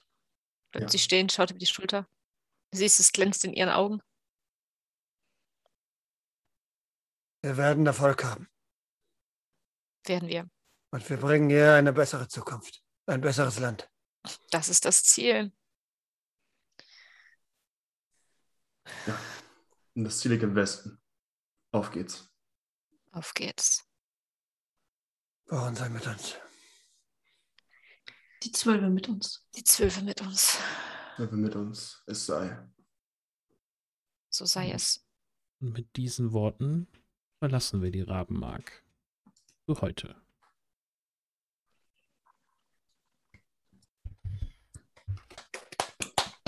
Ja. Das war die alte Dame. Das haben wir doch noch hingekriegt. Wir haben ein bisschen überzogen. Ich hoffe, das war okay für euch. Ja, Ja, ich hab's nicht gemerkt, absolut. ganz ehrlich. Ich habe auch Haben, nicht. wir- haben wir überzogen? Ja, wir haben 5 vor 11. Oh, Mhm. Oh. Das ist ein Ah, gutes ja. Zeichen, wenn man das nicht merkt. Ja. Wow. Ich habe ich hab ja keine Uhr, die, die mir, die mir, die, die ich, wo ich gucken kann. Die ist so toll, die alte da. Die ist so toll. Die weiß mehr als wir alles zusammen. Oh ja, oh ja. Ich meine, Ganz, der, ehr- ganz ehrlich, aber der Spruch mit, äh, mit, mit jetzt, äh, ich habe schlechte Erfahrungen gemacht, lässt mich, lässt mich ein bisschen äh, äh, mit einem un unwohlen Magengefühl, weil äh, alte Dame, die mit Preisgeweihten keine gute. Äh, Mhm. Du willst dir doch nicht hat? unterstellen, eine Hexe zu sein. sie hat erkannt, dass die drei Ich würde- Mädels magiebegabt Ich würde, ich würde ihr Ja. unterstellen, eine Hexe zu sein. Ich würde ihr sogar unterstellen, dass sie mal in Beilung war.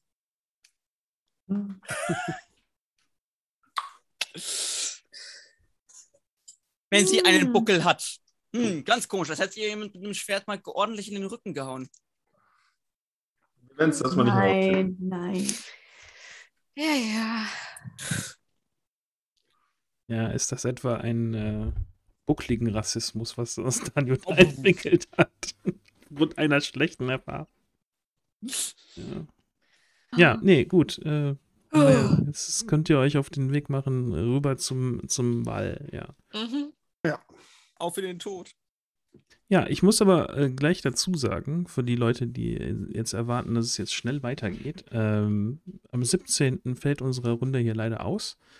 Da habe ich einen anderen Termin, den ich wahrnehmen muss. Und ähm, Abkommen, danke fürs Koala-Kraulen. Sehr, sehr anständig. Dankeschön. aber dafür haben wir dann am 31., also an äh, ja, Halloween, ja, haben wir dann äh, eine, eine schöne Folge. Vielleicht äh, spulen wir ein bisschen vor und äh, erlecken dann schon den Todeswahl. Mal schauen, ob ich, äh, ob ich das noch unterkriege. Aber da wir heute sehr viel von, von den ganzen äh, Traumsachen gemacht haben, äh, ja, steht dem eigentlich nicht viel im Wege. Ja. Wieso Ja. hast du das nicht erwartet? Du bist auf dem Kanal von Koali am Kopf. Ja, ja. Hier gibt es nur Koalas. Ja, also fast nur. ja.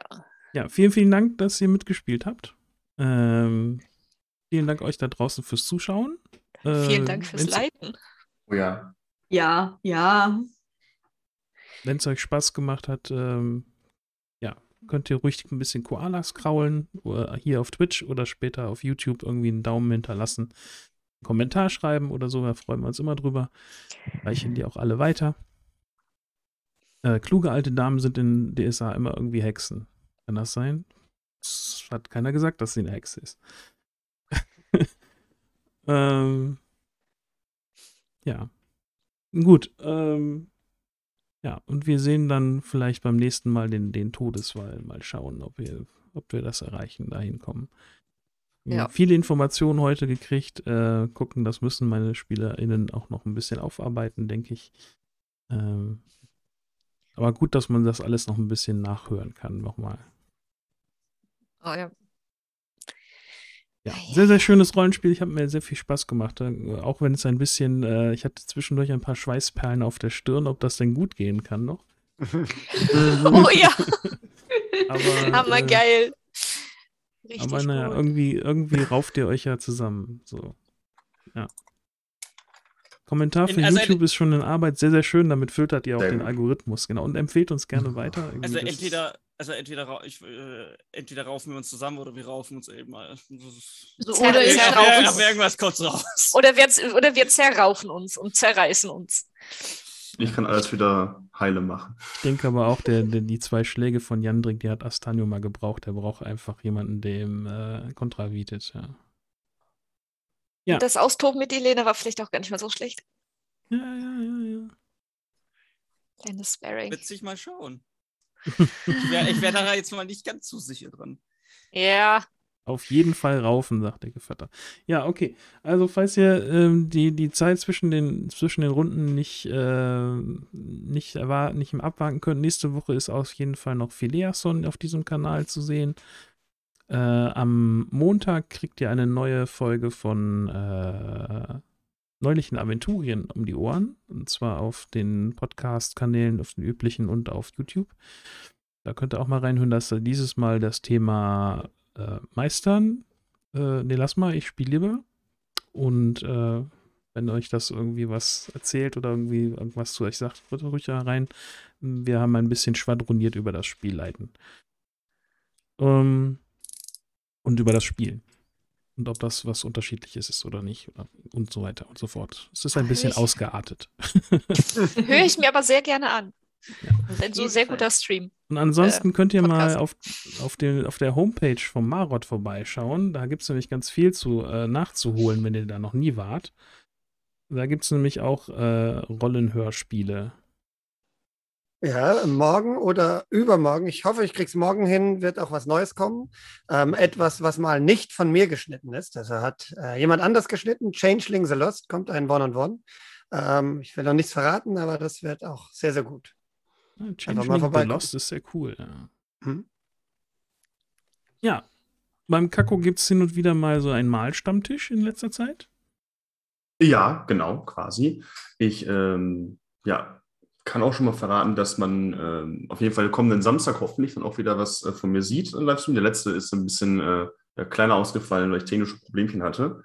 Ansonsten äh, nicht auf meinem Kanal, aber wenn alles glatt läuft und der Termin noch eingetragen wird, ich sehe gerade, im Nordpol steht ja nicht, spielen wir nämlich morgen eine weitere Runde, ja, finde ich auch. Er muss dem Lucky nochmal auf die Finger hauen. Spielen wir nämlich ähm, beim D-Rex auf dem Twitch-Kanal ähm, Witchcraft and Wizardry, Witchcraft and Wizardry, das ist ein Wort, ähm, äh, geleitet vom guten Lucky Lucano. Ähm, da gehen wir schon, glaube ich, in die fünfte Folge. Und äh, das ist aus, ähm, also ein, ein Projekt der SL Austausch Challenge. Und äh, ja, da sind wir quasi im Finale. Das ist sehr cool. Es geht um äh, gestohlene Nägel. Mehr sage ich nicht. Ist aber auf jeden Fall sehr cool, lohnt sich.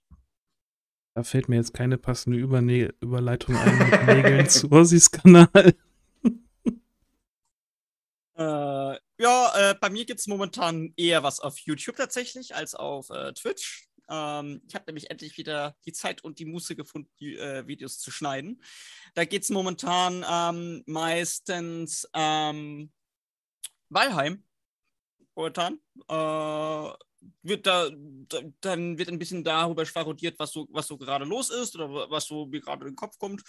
Und wird da nebenbei ähm, werden dann halt ein paar Viecher geklopft, die ich jetzt beispielsweise schon äh, mit Namen äh, äh, äh bet äh, betitelt habe.